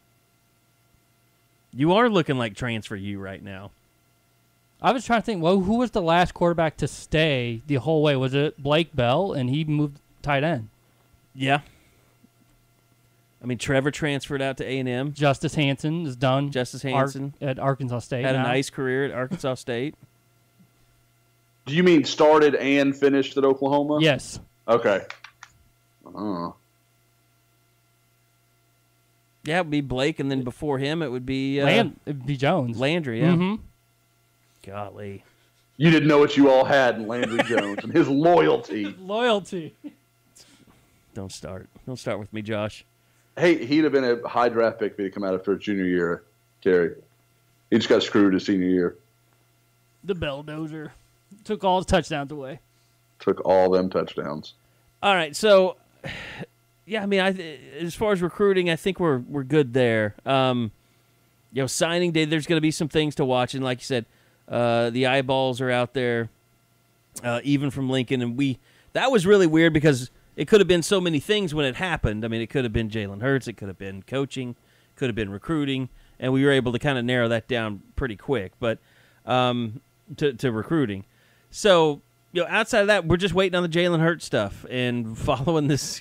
Now, when I started the pod and said that drama is stupid, this is not stupid drama. This Oh, is the- awesome. This is petty. drama. This is petty wars. This No, is the this drama is- that I feed off. yeah, of. this is the stuff that we you, that you should live for, not This is the, the stuff made that up. will get me in a wreck going home to Oklahoma City because I'm checking my phone the entire way. This, this makes this fun. Like th- this makes like you last year after the early signing period. I, I can't speak for Bob, but it was kind of like, well, what do I do now? Like I was just kind of like, there's like four guys to cover. This is Right. slow. Well, and now you've but now this is fun. and you've pissed off his family, who now by this time has every phone number of every media member in Oklahoma. So they're willing to just dish Now, on everything it, that's least. going on. If- yeah. If, you want to get in touch, you definitely can. so everything's going to come out in this thing. Just, I don't know. It, it this kind of also tells you that I don't know. I mean, if you get, do you think Lincoln would do this regardless if he got Jalen Hurts or not? I do. Something happened where that bridge got burnt. That's it. I don't know how close we are to getting out of here, but I just posted something on the board. Um, Jalen Hurts is not the only SEC grad transfer that Oklahoma is going to be involved with. Oh, At quarterback? Would it be No, not a offensive quarterback. Not a tackle? quarterback. Offensive tackle? A receiver. Receiver. Oh. That one surprised Mr. me. Josh yeah. with the news. Mm-hmm. I, Is he? Did he just enter the portal? I do not know. Like honestly, I actually yes, he did. He entered yesterday. Okay. So um, you know, don't want to. Just gave it to the subscribers. So you know, you, you people out there, it's time to ante up, sign on up. Don't be But, a uh, don't be a poor or a simple jack anymore. Mm-mm. No. Do you, Kerry? Do you feel like you've brought that wrath upon us? You brought up Simple Jack, and all of a sudden they've come out of the woodwork. It's it's it's it's in it's happening at an incredible rate. I'm telling you. Because there's so much news to go around And that people if you're, can't keep if you're up. not connected, Yeah. you don't have a clue. Like we are for the connected folk. Like don't come at it like there was a guy today that asked me about if oh you can get back in with Dax Hill. That's a that's a Eddie has made an edict. I'm not I don't even think we should discuss it. Cuz It's it's not even an we edict. tell it's Eddie a, not it's to be a jerk to people. It's fact. It's pretty good rule. It's it's fact. I'm- if you have less than 50 followers, you're probably a simple jack, and you're not going to respond to them. and I'm not going to respond You're to not you going to answer their question. unless I know you.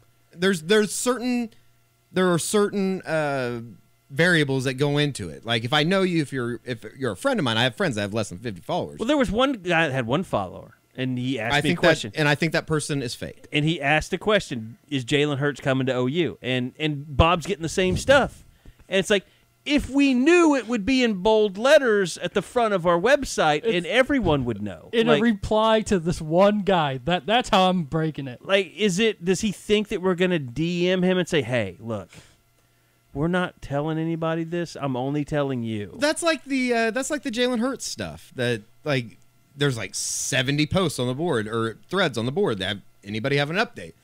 If and then they tag us. That hey, is all that we are concentrated on. Like, if we get information on Jalen Hurts that is worthy of being relayed, it's going to be at the We top of the will board. tell It's going to be pinned. It's going to say Jalen Hurts update. It's going to say you know 1:27 p.m. or whatever time and it'll be. and confirmed. I don't. Yeah. We don't like to spread the rumors. Like there's some stuff we've heard. We don't know if it's true, so we just let Like it go. literally, the first thing this morning when you woke up, you had an update. Well, everything that we knew about Jalen Hurts, and that hasn't changed since we put that update. Like, I think people just think like those those tickers still exist, where like someone is sending us uh, information about Jalen Hurts, and we're just not relaying it because we're lazy. Somewhere there's like a Jalen Hurts AP wire, like it's just Jalen Hurts coming you know, in on a little the, fact. the old ticker tapes. I mean, like we just have one of those sitting in an office somewhere that just constantly has Jalen Hurts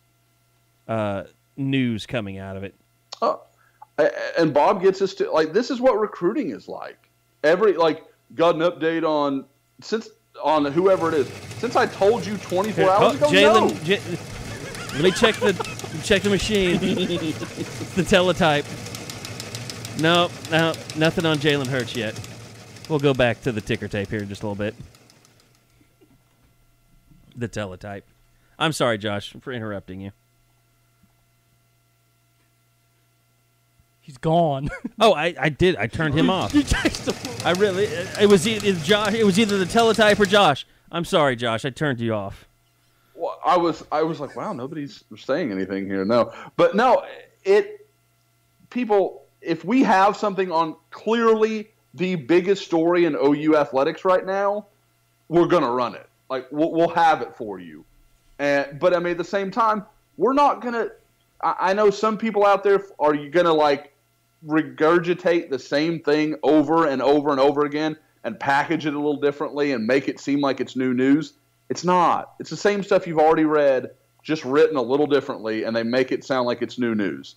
We're not going to do that. That's not how we've ever operated. When there's something worth reporting, we'll report it. Like I promise. But uh, like I said, this this constant. Oh, there's got to be something new. We could do that too, but we just that's that's pointless. That that never makes any sense to me. Yeah, I'm I'm I'm just trying to catch up. Tyler Palmateer from the Norman transcript has a good point. Uh, Lincoln is so paranoid that this is just the icing on the cake of paranoidness. and sort of par par for the course now with him. Like you would almost be Like he doesn't if want he you to see the other a- way. Yeah, he doesn't want you to see a practice, much less have a guy transfer to another school that has the entire playbook.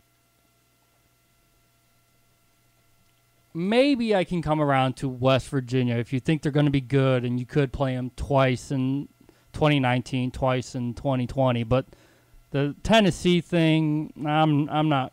Or the if you're on the schedule for the next two years, that one I, I can't come around to now. I mean, they were screwed without Will Grier, but I didn't think that quarterback they played was terrible. He was just rail thin. Yeah, That Yes. that guy looked like Spencer Rattler out there. He is skinnier than me. Whoa, I don't. Whoa, He was close, just a lot Who's that? taller. West Virginia's quarterback. Oh, the backup backed for uh, Grier. he was running for his life, and he really was had the he had the build of Bob Przybylo. Yeah, it. Like I said, and this is one of those things because I know a lot of high school coaches, and it, it kind of they're kind of unrelated, but it's similar. A lot of college or high school coaches hate the early signing period, and they speak out very loudly against it. Ronnie Perkins, his high school coach, is one of the forerunners on this about these kids. Like once they get in, well, they're locked in, but the coaches can do whatever they want, and that's fair. And you're only pouring gasoline on the fire, and you make it's not just about Austin Kendall.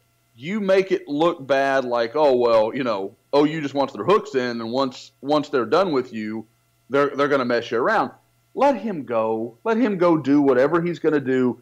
Austin Kendall will not be the reason that you win or lose against West Virginia. Uh, if he was, you wouldn't let him go. It's a quarterback that you're willing to let go. I mean, it's like, exactly.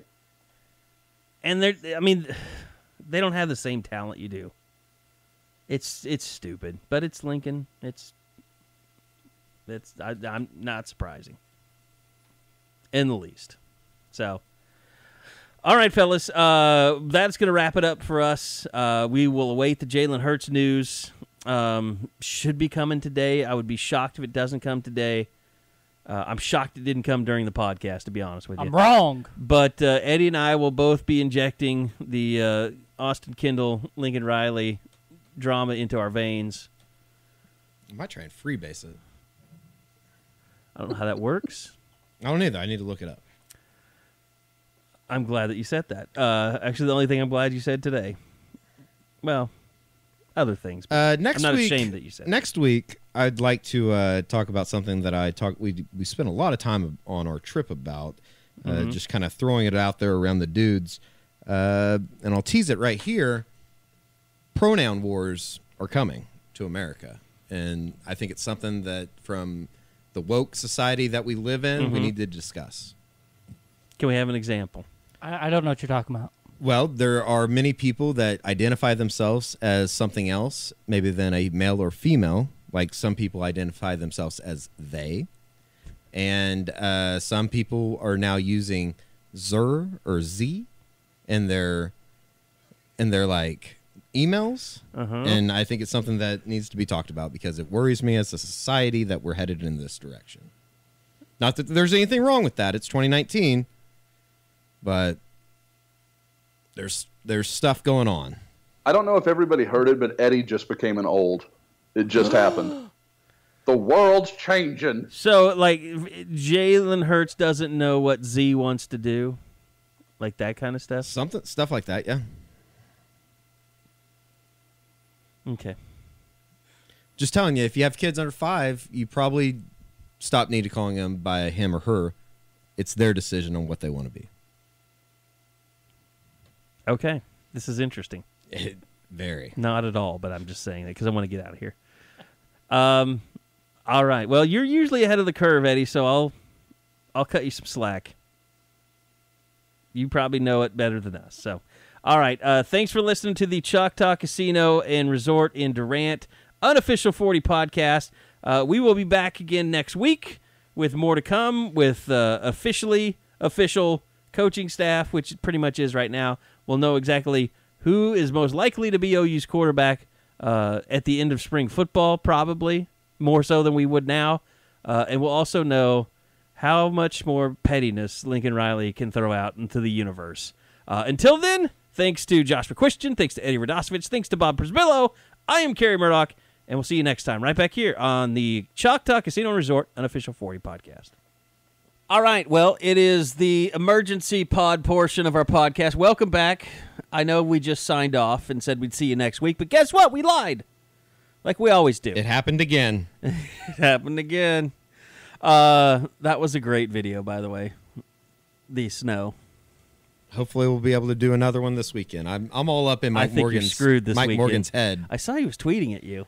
very awkwardly too. It's kind of creeped me out. Uh, okay, so Jalen Hurts. uh, Well, well, first off, Oklahoma, you're welcome. We did a podcast, and of course, huge news broke in the middle of it, or right at the end. Jalen Hurts, through uh, Players Only Tribune, released a farewell to Alabama that also announces uh, his future, which is to come to the University of Oklahoma. So Jalen Hurts will grad transfer his way on to Norman. In all the uh, back and forth, all the, the worry if we were on track, if we were off track, if we were if we were idiots, if we were if we were figuring it out, he comes to Oklahoma. No, doesn't go to Maryland. Turns down Mike Locksley. Uh, Tate Martell goes to Alabama or to Miami, and so Jalen Hurts ends up at Oklahoma, which I think most people thought made the most sense. And Sooners now, guys, I think we have to say it. Uh, they are once again in position to be considered a college football playoff favorite heading into next year with this one move. Absolutely. I mean, I it's it's incredible that they've recentered themselves after losing what is it now? Five guys early to the NFL draft off the offensive side of the ball, and they're it, it almost seems like they've reloaded now with uh, five Well, stars six, with the news. Well, six with the news of yeah, that's included. that's right. I five before Kyler. Yeah. Uh, but it it's just incredible the way that Lincoln Riley has this thing rolling right now, and uh, you know it's going to be interesting. Uh, I, I just saw that Mike Farrell tweeted. Uh, he was told one of the things that Jalen Hurts wanted most in a transfer school is the chance to play and beat Alabama in the playoffs. Sooners could give him that chance. So, uh, Yeah, you knew Maryland. I mean, we, we brought that up. Like, yeah, it just he had no the Maryland thing Maryland didn't or make Miami. sense as far as if you want to be a guy that's going to go, uh, you know, maybe to the NFL or or prepare himself for the NFL, uh, Or just look at the or last two just to win, be relevant. to Ma- be, relevant yeah. in a, his final season in college football. Oklahoma was the play, and uh, you know he finessed a uh, a trip to a, a, a prime 112 steakhouse in Miami out of uh, the hurricane, and then I think a trip to a, a couple clubs down in the Miami area. But uh, all is well for Oklahoma, as uh, it seems like Lincoln Riley, besides the Austin Kendall thing, which we talked about in the unofficial earlier this afternoon, uh, he continues to win. And guys, I was thinking about this, Josh. Um, the one thing that this program, I think, has missed is a voice of leadership. I, I think we can all agree. Eddie, you and I have been around him all year. This is maybe the weakest year of captaincy that I've seen at the University of Oklahoma. It just it wasn't strong. Yeah, and you know that's something that is going to be interesting because you look at you know just the comments that that Jalen Hurts made after the uh, after the SEC championship game and kind of the way that he carried himself as far as I guess the character that he had to carry himself with even when Tua took over the job Yeah. and he basically sat the sidelines all year. Uh, And he had one little that's- moment where he actually came out and, and expressed frustration to the media. Yeah, and that kind of got blown out of proportion. I thought personally. But after that, it just seemed like everything went back to normal, and he, you know, just played his role that he was supposed to play.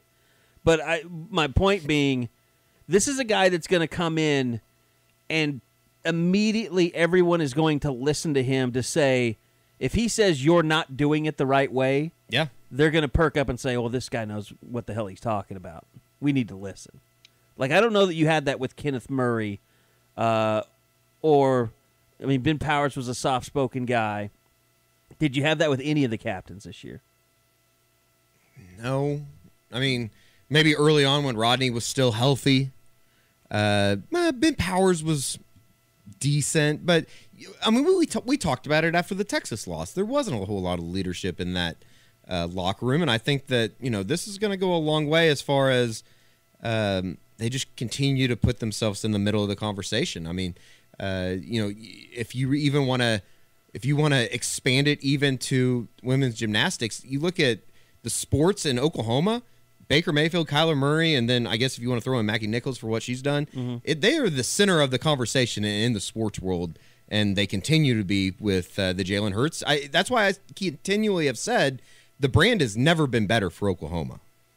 I honestly thought we would you were going to take us into a is KJ Kindler the hottest coach on campus talk. Now. Well, if we want to, we can. I I would probably support that facet. Although, uh, you know, I I've had some ladies say to me that Alex Grinch has certainly put himself in the center of conversation. I think Diaco was there for a lot of people. Diaco was definitely there. Diaco was a good-looking guy. But and as we're far all as- comfortable enough to be able to say Is. KJ Kindler surpassed Sherri Coale? Oh, absolutely. I mean, at some point, winning has to become has to play uh, a role in this as well. Yeah. Okay, I'm sorry. I told Josh we'd only go about 15 minutes. And now we're getting way off track. Uh, but Josh, just just leadership wise, I mean, look, Jalen Hurts has a chance to do something that you know Baker left, and I wouldn't call him your uh, guy that was really worried about everybody else doing things the right way. He was just a lead by example guy. Like he went out and made plays, and everybody's like, "Damn, that guy's good. I'll follow him anywhere." Like he was kind of a Pied Piper. I think Jalen Hurts can be a guy that really resets the culture of your program. I, I think there's something to that. And one of my favorite things I ever heard Tom Izzo say, and it's a weird guy to bring up in this conversation, but he was talking about how much he hates the lead by example leaders. He's like, that's not a leader. That's just someone doing what he does. And if you choose to follow him, you follow him. He's like, a leader is a guy that's going to be vocal. He's going to get in your face and tell you you're not doing this right, that we expect more here. I think Jalen Hurts is that kind of guy. I mean, he's a coach's son, like all the cliches you can come up with. He fits all those molds, and he's a guy that has done it at an extremely high level. He knows what it takes to play for national championships and win national championships. So I think he comes in with instant credibility. I mean, we've you know we've seen it on the the tweets that we sent out when it happened. I mean, all these players, whether they're ex-OU players, current OU players, the commitments, the signees, you know, whatever, they're all like, "Oh yeah, man, we'll, you know, we we're excited about this because he's he has that kind of credibility." And I can't ever think of a guy that didn't start his final year where he was that comes in with that kind of currency with his future teammates. But that that's where Jalen Hurts is, and I think he can walk right in and be like, you know, day one, he doesn't have to be a guy that's going to earn his way at the table. They're going to know he knows what it's about, and that he can step up and say something if he wants to. Now, this was something I also wrote about uh, back in that piece about why OU would want Jalen Hurts now. Uh, and it goes to Bill Bedenbaugh, the offensive line. Eddie, you mentioned six guys you're replacing that leave early, four of those on the offensive line. Lincoln Riley's going to have to come up with some different things offensively in order to take advantage of some of Jalen Hurts' strengths and weaknesses or, or hide some of his weaknesses. But he is going to be able to. He's the type of quarterback, I think, that's going to be able to kind of uh, help you overcome some of your uh, inefficiencies, inexperience, whatever you want to call it, on that offensive line until uh, they can start gelling midway through the season. Am I wrong? No, I don't think so at all. I, I sorry, I, I thought Josh you were going to chime in. I think it's going to be interesting just as far as like what I wonder what that sales job was like. I'm uh, surely that came up when they were when they brought him in and talking to him as far as you know this is what we have coming back. This is what you basically this is what you would have in front of you. Uh, you know, because I I think that they do that on just a normal recruiting trip. I would think that it's even more so for a grad transfer and a guy that's been around the block. I wonder if Alabama. This would be a good question uh, to ask somebody like Aaron Suttles or something. Like, did they have a completely different offense for Tua than they did Jalen? Was there a Jalen offense versus a Tua offense, uh, or were the concepts the same for both quarterbacks? Were they running the same type of offense? They just ran certain plays for Jalen that they didn't run for Tua. So, I, I mean, I'm sure part of the sales job point I'm getting is, is Lincoln said, look, we're going to put you in the system that Baker and Kyler were in. We're going to ask you to make those same throws. We're going to have you know receivers that make the same you know uh, run the same routes. Like you're going to be playing in this offense that all the NFL teams want. I would I would have a hard time thinking that it's all the same for him. I mean, do you think that they're going to just let Jalen Hurts air it out? I mean, everybody talks about his accuracy or maybe his issues with accuracy. Uh, you know, and I'll be honest. At the surface, when this, when this first came out, I put on the board. Thanks, but no thanks. Like I didn't. Think I had the that same this was- reaction. I didn't think that this was something that Oklahoma wanted to get into. Uh, but when you have the Austin Kendall stuff, and perhaps uh, uh, Lincoln Riley knew that this was about to happen with Austin Kendall, I, I certainly think that the bridge wasn't burned overnight with them. No, Uh, but it's burned now. oh, it definitely burned. It was burned, and then they tried to rebuild it, and they actually fired all the contractors and said, "No, there is no there is no bridge being rebuilt." What it okay, let me ask you this back to the Kendall stuff. What is the point of it's all petty.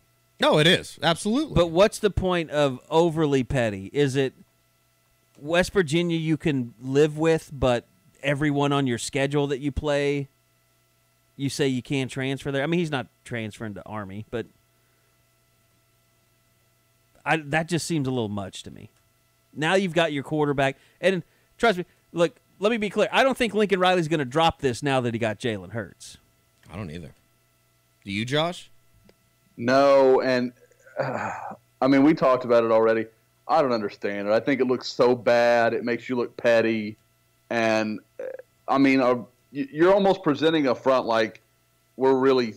I, I, hate to use the word scared, but there's no better way to say it. Of Austin Kendall, uh, uh you would if he was this important, you wouldn't let him go. Yeah.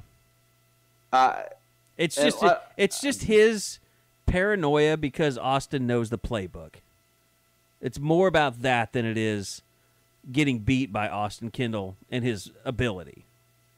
Well, and, and I think it's interesting. Like, they do they really assume that West Virginia is not going to be pretty well versed in what they do, or any Big Twelve team? Yeah. I mean, it's Gary Patterson. You can watch him during when they did the the national semifinal. I'm watching that thing.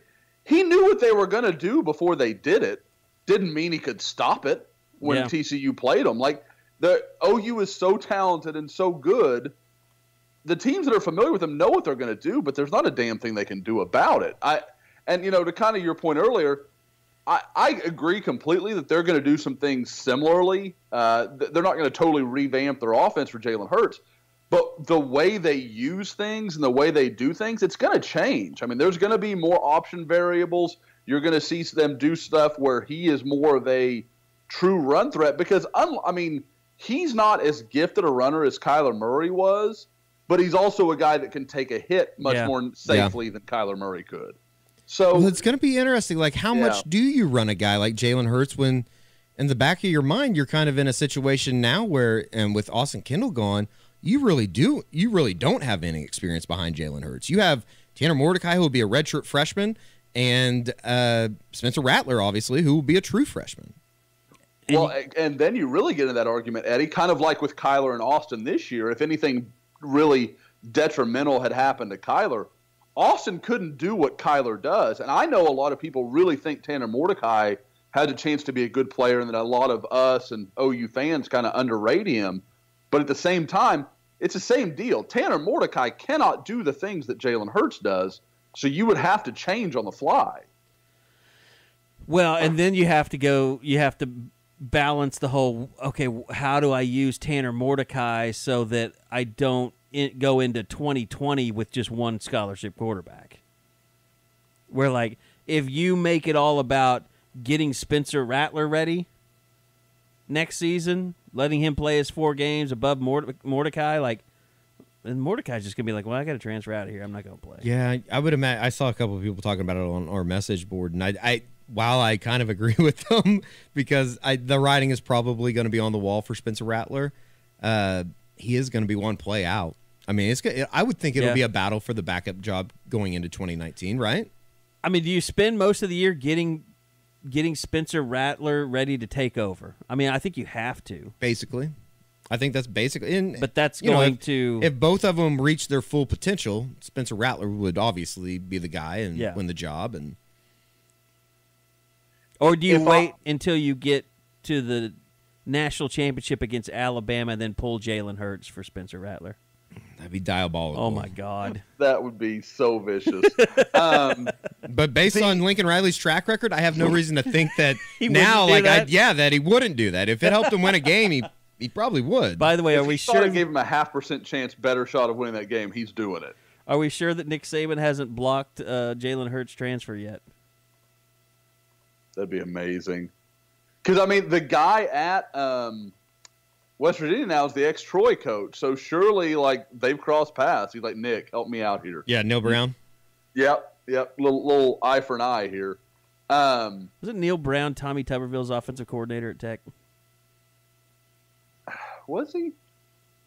I thought Maybe he I'm was up at. West Virginia during that time. I think he was at Auburn. Oh, okay. Maybe that's what I'm thinking. I think then. I think Chizik hired him at Auburn. Yeah, he sure was. 2010 to 2012, OC QB, Texas Tech. And that would have been Tuberville. Yeah. Um, you know, if I'm Lincoln Riley, because I mean, obviously this situation's going to come up, and he's he's got to present it kind of like he did with Austin Kendall this year to Mordecai. He's got to make him look like you're going to get a fair shot at this next year. You've got to be hope like anybody on that schedule that you can really drop the hammer on and like have Jalen Hurts out of there by mid second quarter. You've got to do it because you're going to have to give Mordecai, you know, four Yeah. or five series at least. And then, okay, we've got our four games here where we can run Spencer out, let him have a look, and kind of at least get his feet wet before next year. Yeah. It's going to be interesting. It's going to be interesting to see how fast Bill Bedenbaugh can get that offensive line gelling together, who those guys are going to be. Uh, you know, like does an Adrian Ealy finally take a step up? Does Bray Walker uh, take a step up?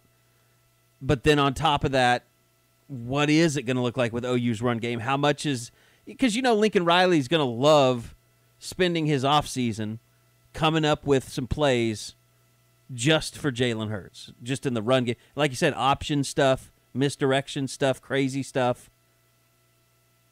And then it's going to be interesting to see how well Jalen Hurts can throw the ball in this offense. Yeah. I mean, it, you know, the, what the one thing that we've always talked about with Lincoln Riley is, is he puts players in best position to make plays. Um, And you, You know, know- he's going to throw the ball down the field a lot with these receivers coming. you have to. Maybe with these maybe with these receivers though, you just got to get it in a the area. an area and let them go get it. Basically, I mean, from what we've seen of Jadon Haselwood, Theo Wease, uh, CeeDee Lamb, obviously, Yeah. uh, Trejan Bridges is it's, it's kind of along those lines of Well- just make sure you get it in an area they're going to catch it. You know the guy we all keep forgetting? Lee Morris. Yeah, Lee Morris goes forgotten like he's not a, a, And a Grant- really good well, football Grant player. And Grant Calcaterra Cal- probably had the highest stock up of any player on the team other than CeeDee Lamb late in the year. and not to mention a, a guy in Nick uh, Basquine who, Who could be he played back, he yeah. played well at the end of the year. Yeah, and he's going for the hardship. I, I, you know, and Kerry, you and I have kind of gone back and forth about that. It sounds like that's going to go well for Oklahoma. I hear people pretty optimistic. Well, they didn't have him for senior day, and he Mhm. did miss two, almost two full years because of Achilles tear. So he's a prime candidate. Like that doesn't get- Achilles? yeah, torn Achilles. Is that no, no? That that's I go with Achilles. Okay, well, that's probably my mom. No, I, I, I just I little, little different taste for everybody. Achilles, Just- I think I say both. Whatever comes out of my mouth. Achilles, Achilles. Achilles. Achilles. Eddie, I feel You like just that's said the a way. totally different one. Well, that was You said that was just that. Yeah, that was that was just a mispronunciation by me. Achilles. Achilles. I think I say Achilles. Yeah. Eddie, I feel like in general practice, whatever comes out of your mouth is exactly what comes out of your mouth. Yeah, that's true. That's Actually, I true. say it how coaches usually say. it. I think coaches say Achilles. if I hear Achilles, I'll say Achilles. Achilles. I don't think I've ever said Achilles. Achilles to me is the the mythological. Achilles is in Well, your it's the same leg. thing, right? Achilles is what it's named for. Right. I know, but but it's a ligament versus a mythological figure. Sure, sure. I s- mythological figure Achilles. Uh, Brad Pitt was real. Thank you. Brad Pitt, home of Shawnee, Shawnee, Oklahoma. Born, Shawnee born. not raised. I still don't understand how Vegas was so off on this whole thing. That is so weird. It has to be somebody. It was Vegas That just on in on the take. Are they trying to make some No, some I bet money? it was somebody. That whole thing that Josh unveiled about the you know the uh, kind of the understanding that there that was there. Guarantee somebody close to Locksley they got to. I bet Locksley thought he was getting him without a doubt. Well, I Josh, you kind of hinted at it today on the on the message board was or in your report was the fact that I Maryland felt very confident about this situation. Th- that it was. I mean, even last night, I, I got the impression they were just waiting to hear he, he's coming to Maryland. So, I That was You know, that guys- was Mike Locksley's first uh, lesson on how different life is going to be now that you're at Maryland. What, was it last week during the pod when we really started to get serious about Hurts as a real thing? No, it was right after. right after because we deleted some of the pod where we just shit on the That's thought right, of that's uh, of Hurts even coming here. Yeah, I mean, you know, I'll, I'll own it. I didn't give this any credence when it started. Like, I'll that's fine. I'm not going to act like I Eddie did. and I had the same conversation. Yeah, absolutely. Not Uh, a fit. Not going to happen. Can't throw the ball well enough for Lincoln. But my Could- my God, they wanted him bad. With the exception of the Orange Bowl, how long has it been since something big like this hasn't gone Oklahoma's way? I mean, it'd have to be a recruiting like loss. everything that seems close seems to turn up Oklahoma right now. Yeah, they. I mean, that's what I've been saying is the fact that the Like brand the is as strong last- as it's ever been. The last, and it's not even bad, but the last negative is probably R.J. Henderson's decommitment. Yeah, which by comparison is oh, No, Which nothing. is addition by Night subtraction. and day. Yeah, yeah, I think When you- when you yeah, end I up mean, with you pretty much Hazelwood- traded R.J. Henderson for Jaden Hazel. Yeah, you end up with Jadon Haselwood, who's a better player, yep, No doubt that's about a it. trade you make all and you day. probably don't end up with him if you have R.J. You know, still signed. Looking back on it, is there any chance in the way that everything went down over that final month with Jadon Haselwood that he was possibly tipped off or Like somebody said to like Hurts or something? to something. Hurts or or something along the lines of, "Hey, we you know we might go after." I bet after, my my guess is after the Fields thing happened, he was probably like, "I'm doing this for me." Yeah, no, I could see that because there was a lot of smoke out there with Justin Fields, and were they going to be a package deal, and you know everything that went into that. well, it was supposed to happen the day after the Orange Bowl, That's true. Well, so as as reports were. Oh, OU is just hell bent on getting somebody from Alabama, whether it be Pete Golding or Jalen Hurts or whoever. But even even you know after we after we got done with the unofficial forty last week, I we said that Lincoln Riley was hell bent on getting Jalen Hurts, and I'll be damned if they didn't get him. It's a great job. I mean, he may be a petty sob, but he gets what he wants.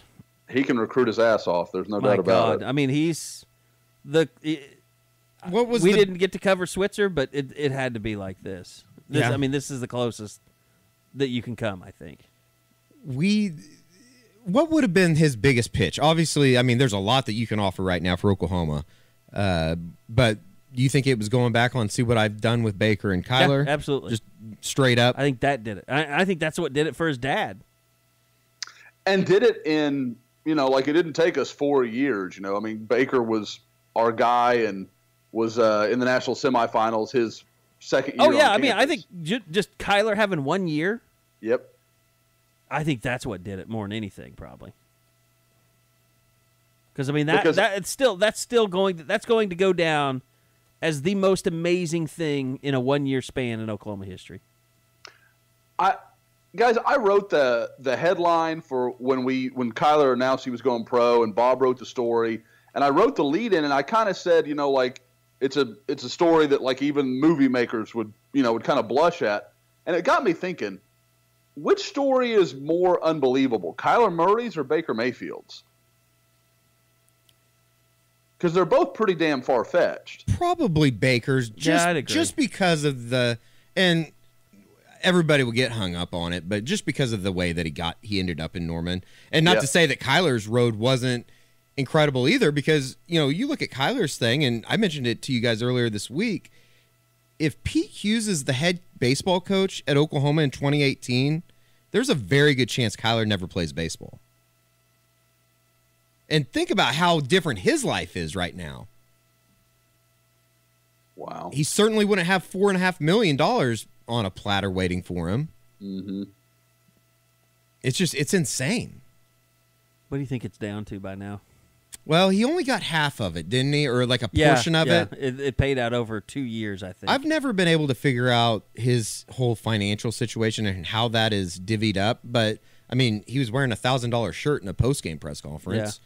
We, But we I- really but need at the him to same send time- that shirt. But at the same time, I've never been struck as somebody that, or he's never struck me as somebody that has grown up with a lot of financial hardships, if that makes sense. yeah, Like I think the Murrays are. I would imagine they're doing okay. yeah. He's an only child. I had somebody mention to me that you know Apparently, he, he he tweeted about his brother. he he must have a brother. Like that is the strangest thing to me. He's obviously a black sheep because he never had any athletic accomplishments. That's weird. No, but Baker is the it's the bigger movie script. Yeah, absolutely. I mean, he's the dual sport star. He's, I mean, Major League Baseball is basically putting themselves out at Kyler Murray's feet and saying, "Take me." Yeah. They're both they're both truly incredible roads. I mean, good luck, Jalen Hurts. You're Oh, following man. up two absolute legends. Look, it, I mean, that's the thing. We've been so spoiled covering these guys. We've forgotten what a regular quarterback is like. Like we've forgotten what we've forgotten what it's like to watch Trevor Knight for a full season. Yeah, it's true. We're going to kind of be reminded of that a little bit.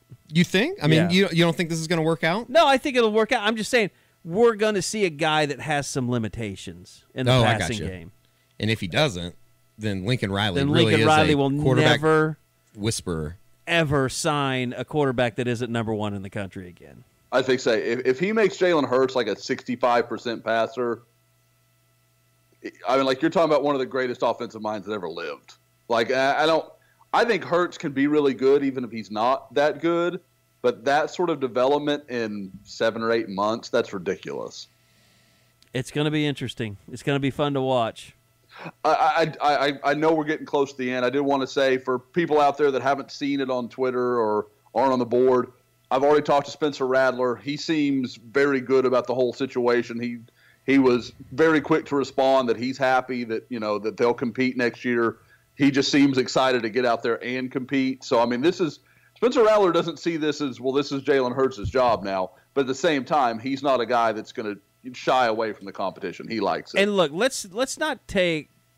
I don't even know when Spencer Rattler made those comments about not taking a transfer QB. Let your people are kind of blowing those out of proportion to take them out of context. That was happening when the Justin Fields thing was going on, and we're talking about a multi-year, you know, eligible player. Jalen Hurts was biggest- never that. He was That's a, the biggest jumping off. he was a for this whole one and thing. done. I mean, it's not. It's not. I don't, Tate Martell was never anybody they were going to look at. Justin Fields was never anybody going to look. And it's because they had Spencer Rattler. And and we said this before too. If he was a mid-semester transfer, maybe maybe even Jalen Hurts would be somebody they didn't they weren't interested in. But he's not a I- mid-semester guy. I think that's I think that's right. And you know, and again, if if he was going to get sore about that, it wouldn't make any sense because he chose not to come in at mid uh, midterm. Like he he made that choice that he wanted to finish out his senior year, Yeah. which is fine. But that was his call, and I think it forced Oklahoma And he's to, a to you know make a move. if Spencer Rattler was a, a Texas quarterback, he'd probably be a mid. He's a West Coast kid. I mean, Yep. it's just different out there. Those kids aren't thinking about the fact that they're coming in with three five star receivers and it'd be in their best interest to come in for spring football. Pretty wild. It was. It's been. Incre- it's been an incredible run. I'm. I uh, am glad it's over. It's been a sprint. I saw our buddy Tyler. Uh, we talked about earlier. Uh, Northern transcript talking about just what a crazy ride this has been since the end of the Orange Bowl, and it has been. It's been nonstop. You still got signing day to come, spring football to come, and will there ever be a more anticipated spring football than this one? Oh, I think maybe one mean, that had a real trying to remember. Baker's battle. Baker's first spring was a pretty big damn deal. maybe last year, But people just had be- seen Kyler. I mean, maybe last year just because Kyler, there was a lot of, myself included, that really didn't know what to expect with Kyler Murray. I mean, we kind of knew that he was going to be good, probably win the job, but nobody thought he was going to have the season that he had this year. Nobody. And then, especially with the baseball thing hanging over his head, uh, well, I guess that was even before he got drafted, though, last year during the spring. yeah, he So- was missing practices Yeah. and going to games and Yeah. stuff. And I mean, he was still playing for OU at that point. Remember, he was shuttling back and forth between OU and Austin or Norman and Austin to play to in Austin. yeah. Or no, he, that would have been two year years ago. They played before. Uh, he flew from Kansas. I TCU, think. I think. it was. It was TCU. That's right, and he had a home run. yeah, So yeah, I mean, but I I mean, don't just know. the fact that this is a brand new guy. No one's ever seen him in an OU uniform before, and it's not fair, but all of OU's expectations to remain in the college football playoff are now placed on his shoulders. Because he's he's I mean, this is a someone asked me this question. Has any quarterback ever won a national championship at two different places? And I can say without question, no. Be impossible, right? Not impossible, but In this day, yeah, there. I mean, the transfer rules like this didn't exist back in the day. Russell Wilson never played for a championship with NC State. So yeah, it's it's wild. I mean, it's amazing that you can keep coming up with these stories at quarterback every year for OU. You had the walk on, then you had the Texas high school superstar. Now you have a national champion coming in. Next, I mean, what's the next step? Like, is, is he going to go into like a handicapped quarterback? I- Like, that was exactly what I was thinking. the one-legged quarterback. like like he was born with club feet or something and they could only save one one foot. Ugh. But he wears like one of those those weird spring foots and the NCAA gave him a waiver. Guys, a, a guy actually we've talked recruits about a Forrest lot Gump. that could truly prove that Lincoln Riley is the greatest quarterback coach ever. I think Zeke Pike has some eligibility. Oh eligibility my left. god. oh my god. Now, see w- people get Meth, mad meth at us. cells in Norman would go up exponentially. People get mad at us about our takes on Landry Jones sometimes. We've never beat up a quarterback more than Zeke Pike. Never. Zeke, like, for, you know, people that aren't there, like, you go to the Army game or you go to the Under Armour game, and it's usually the the media is all kind of huddled up either in the stands or on the sidelines, you know, wherever we can be or wherever we are. And generally, you know, you're like, ah, you know, that kid just doesn't look great. Like Zeke Pike, it was almost people were like yelling it across the field, like you're awful. Like, like, like there was no shame in telling him how bad he was the week he was down there. Yeah, I remember thinking, God, they let any quarterback in this place. that was that was kind of the height when they're just like it seemed like there was like a two or three year run there where there just weren't a lot of good high school quarterbacks and they those really not good ones kept showing up at the all american games and all the games were like 17 14 and just were awful to watch By the way, I think my dad was actually mad at me uh, because when he found out that that Mertz kid was from Overland Park, he was like mad at me that one, I didn't tell him that Kansas, the state of Kansas, had such a good quarterback, and two, I didn't do more to make him more nationally relevant.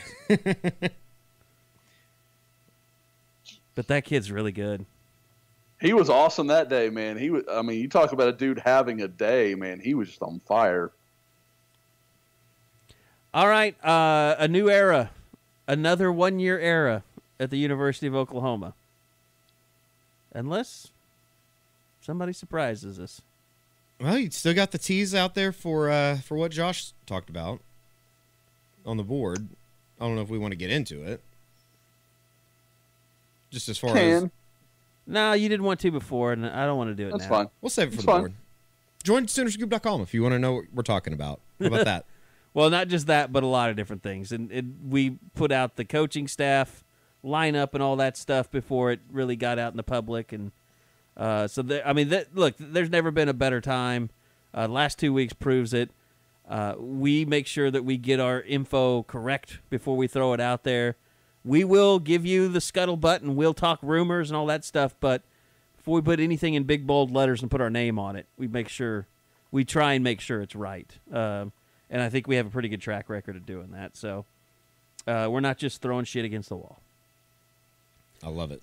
All right, uh, Josh, appreciate it. Eddie, appreciate it. A little emergency into the podcast here that'll add it on. And uh, again, thanks for listening, everybody. It's a Choctaw Casino and Resort in Durant. Unofficial 40. We'll see you guys next time, a week from now.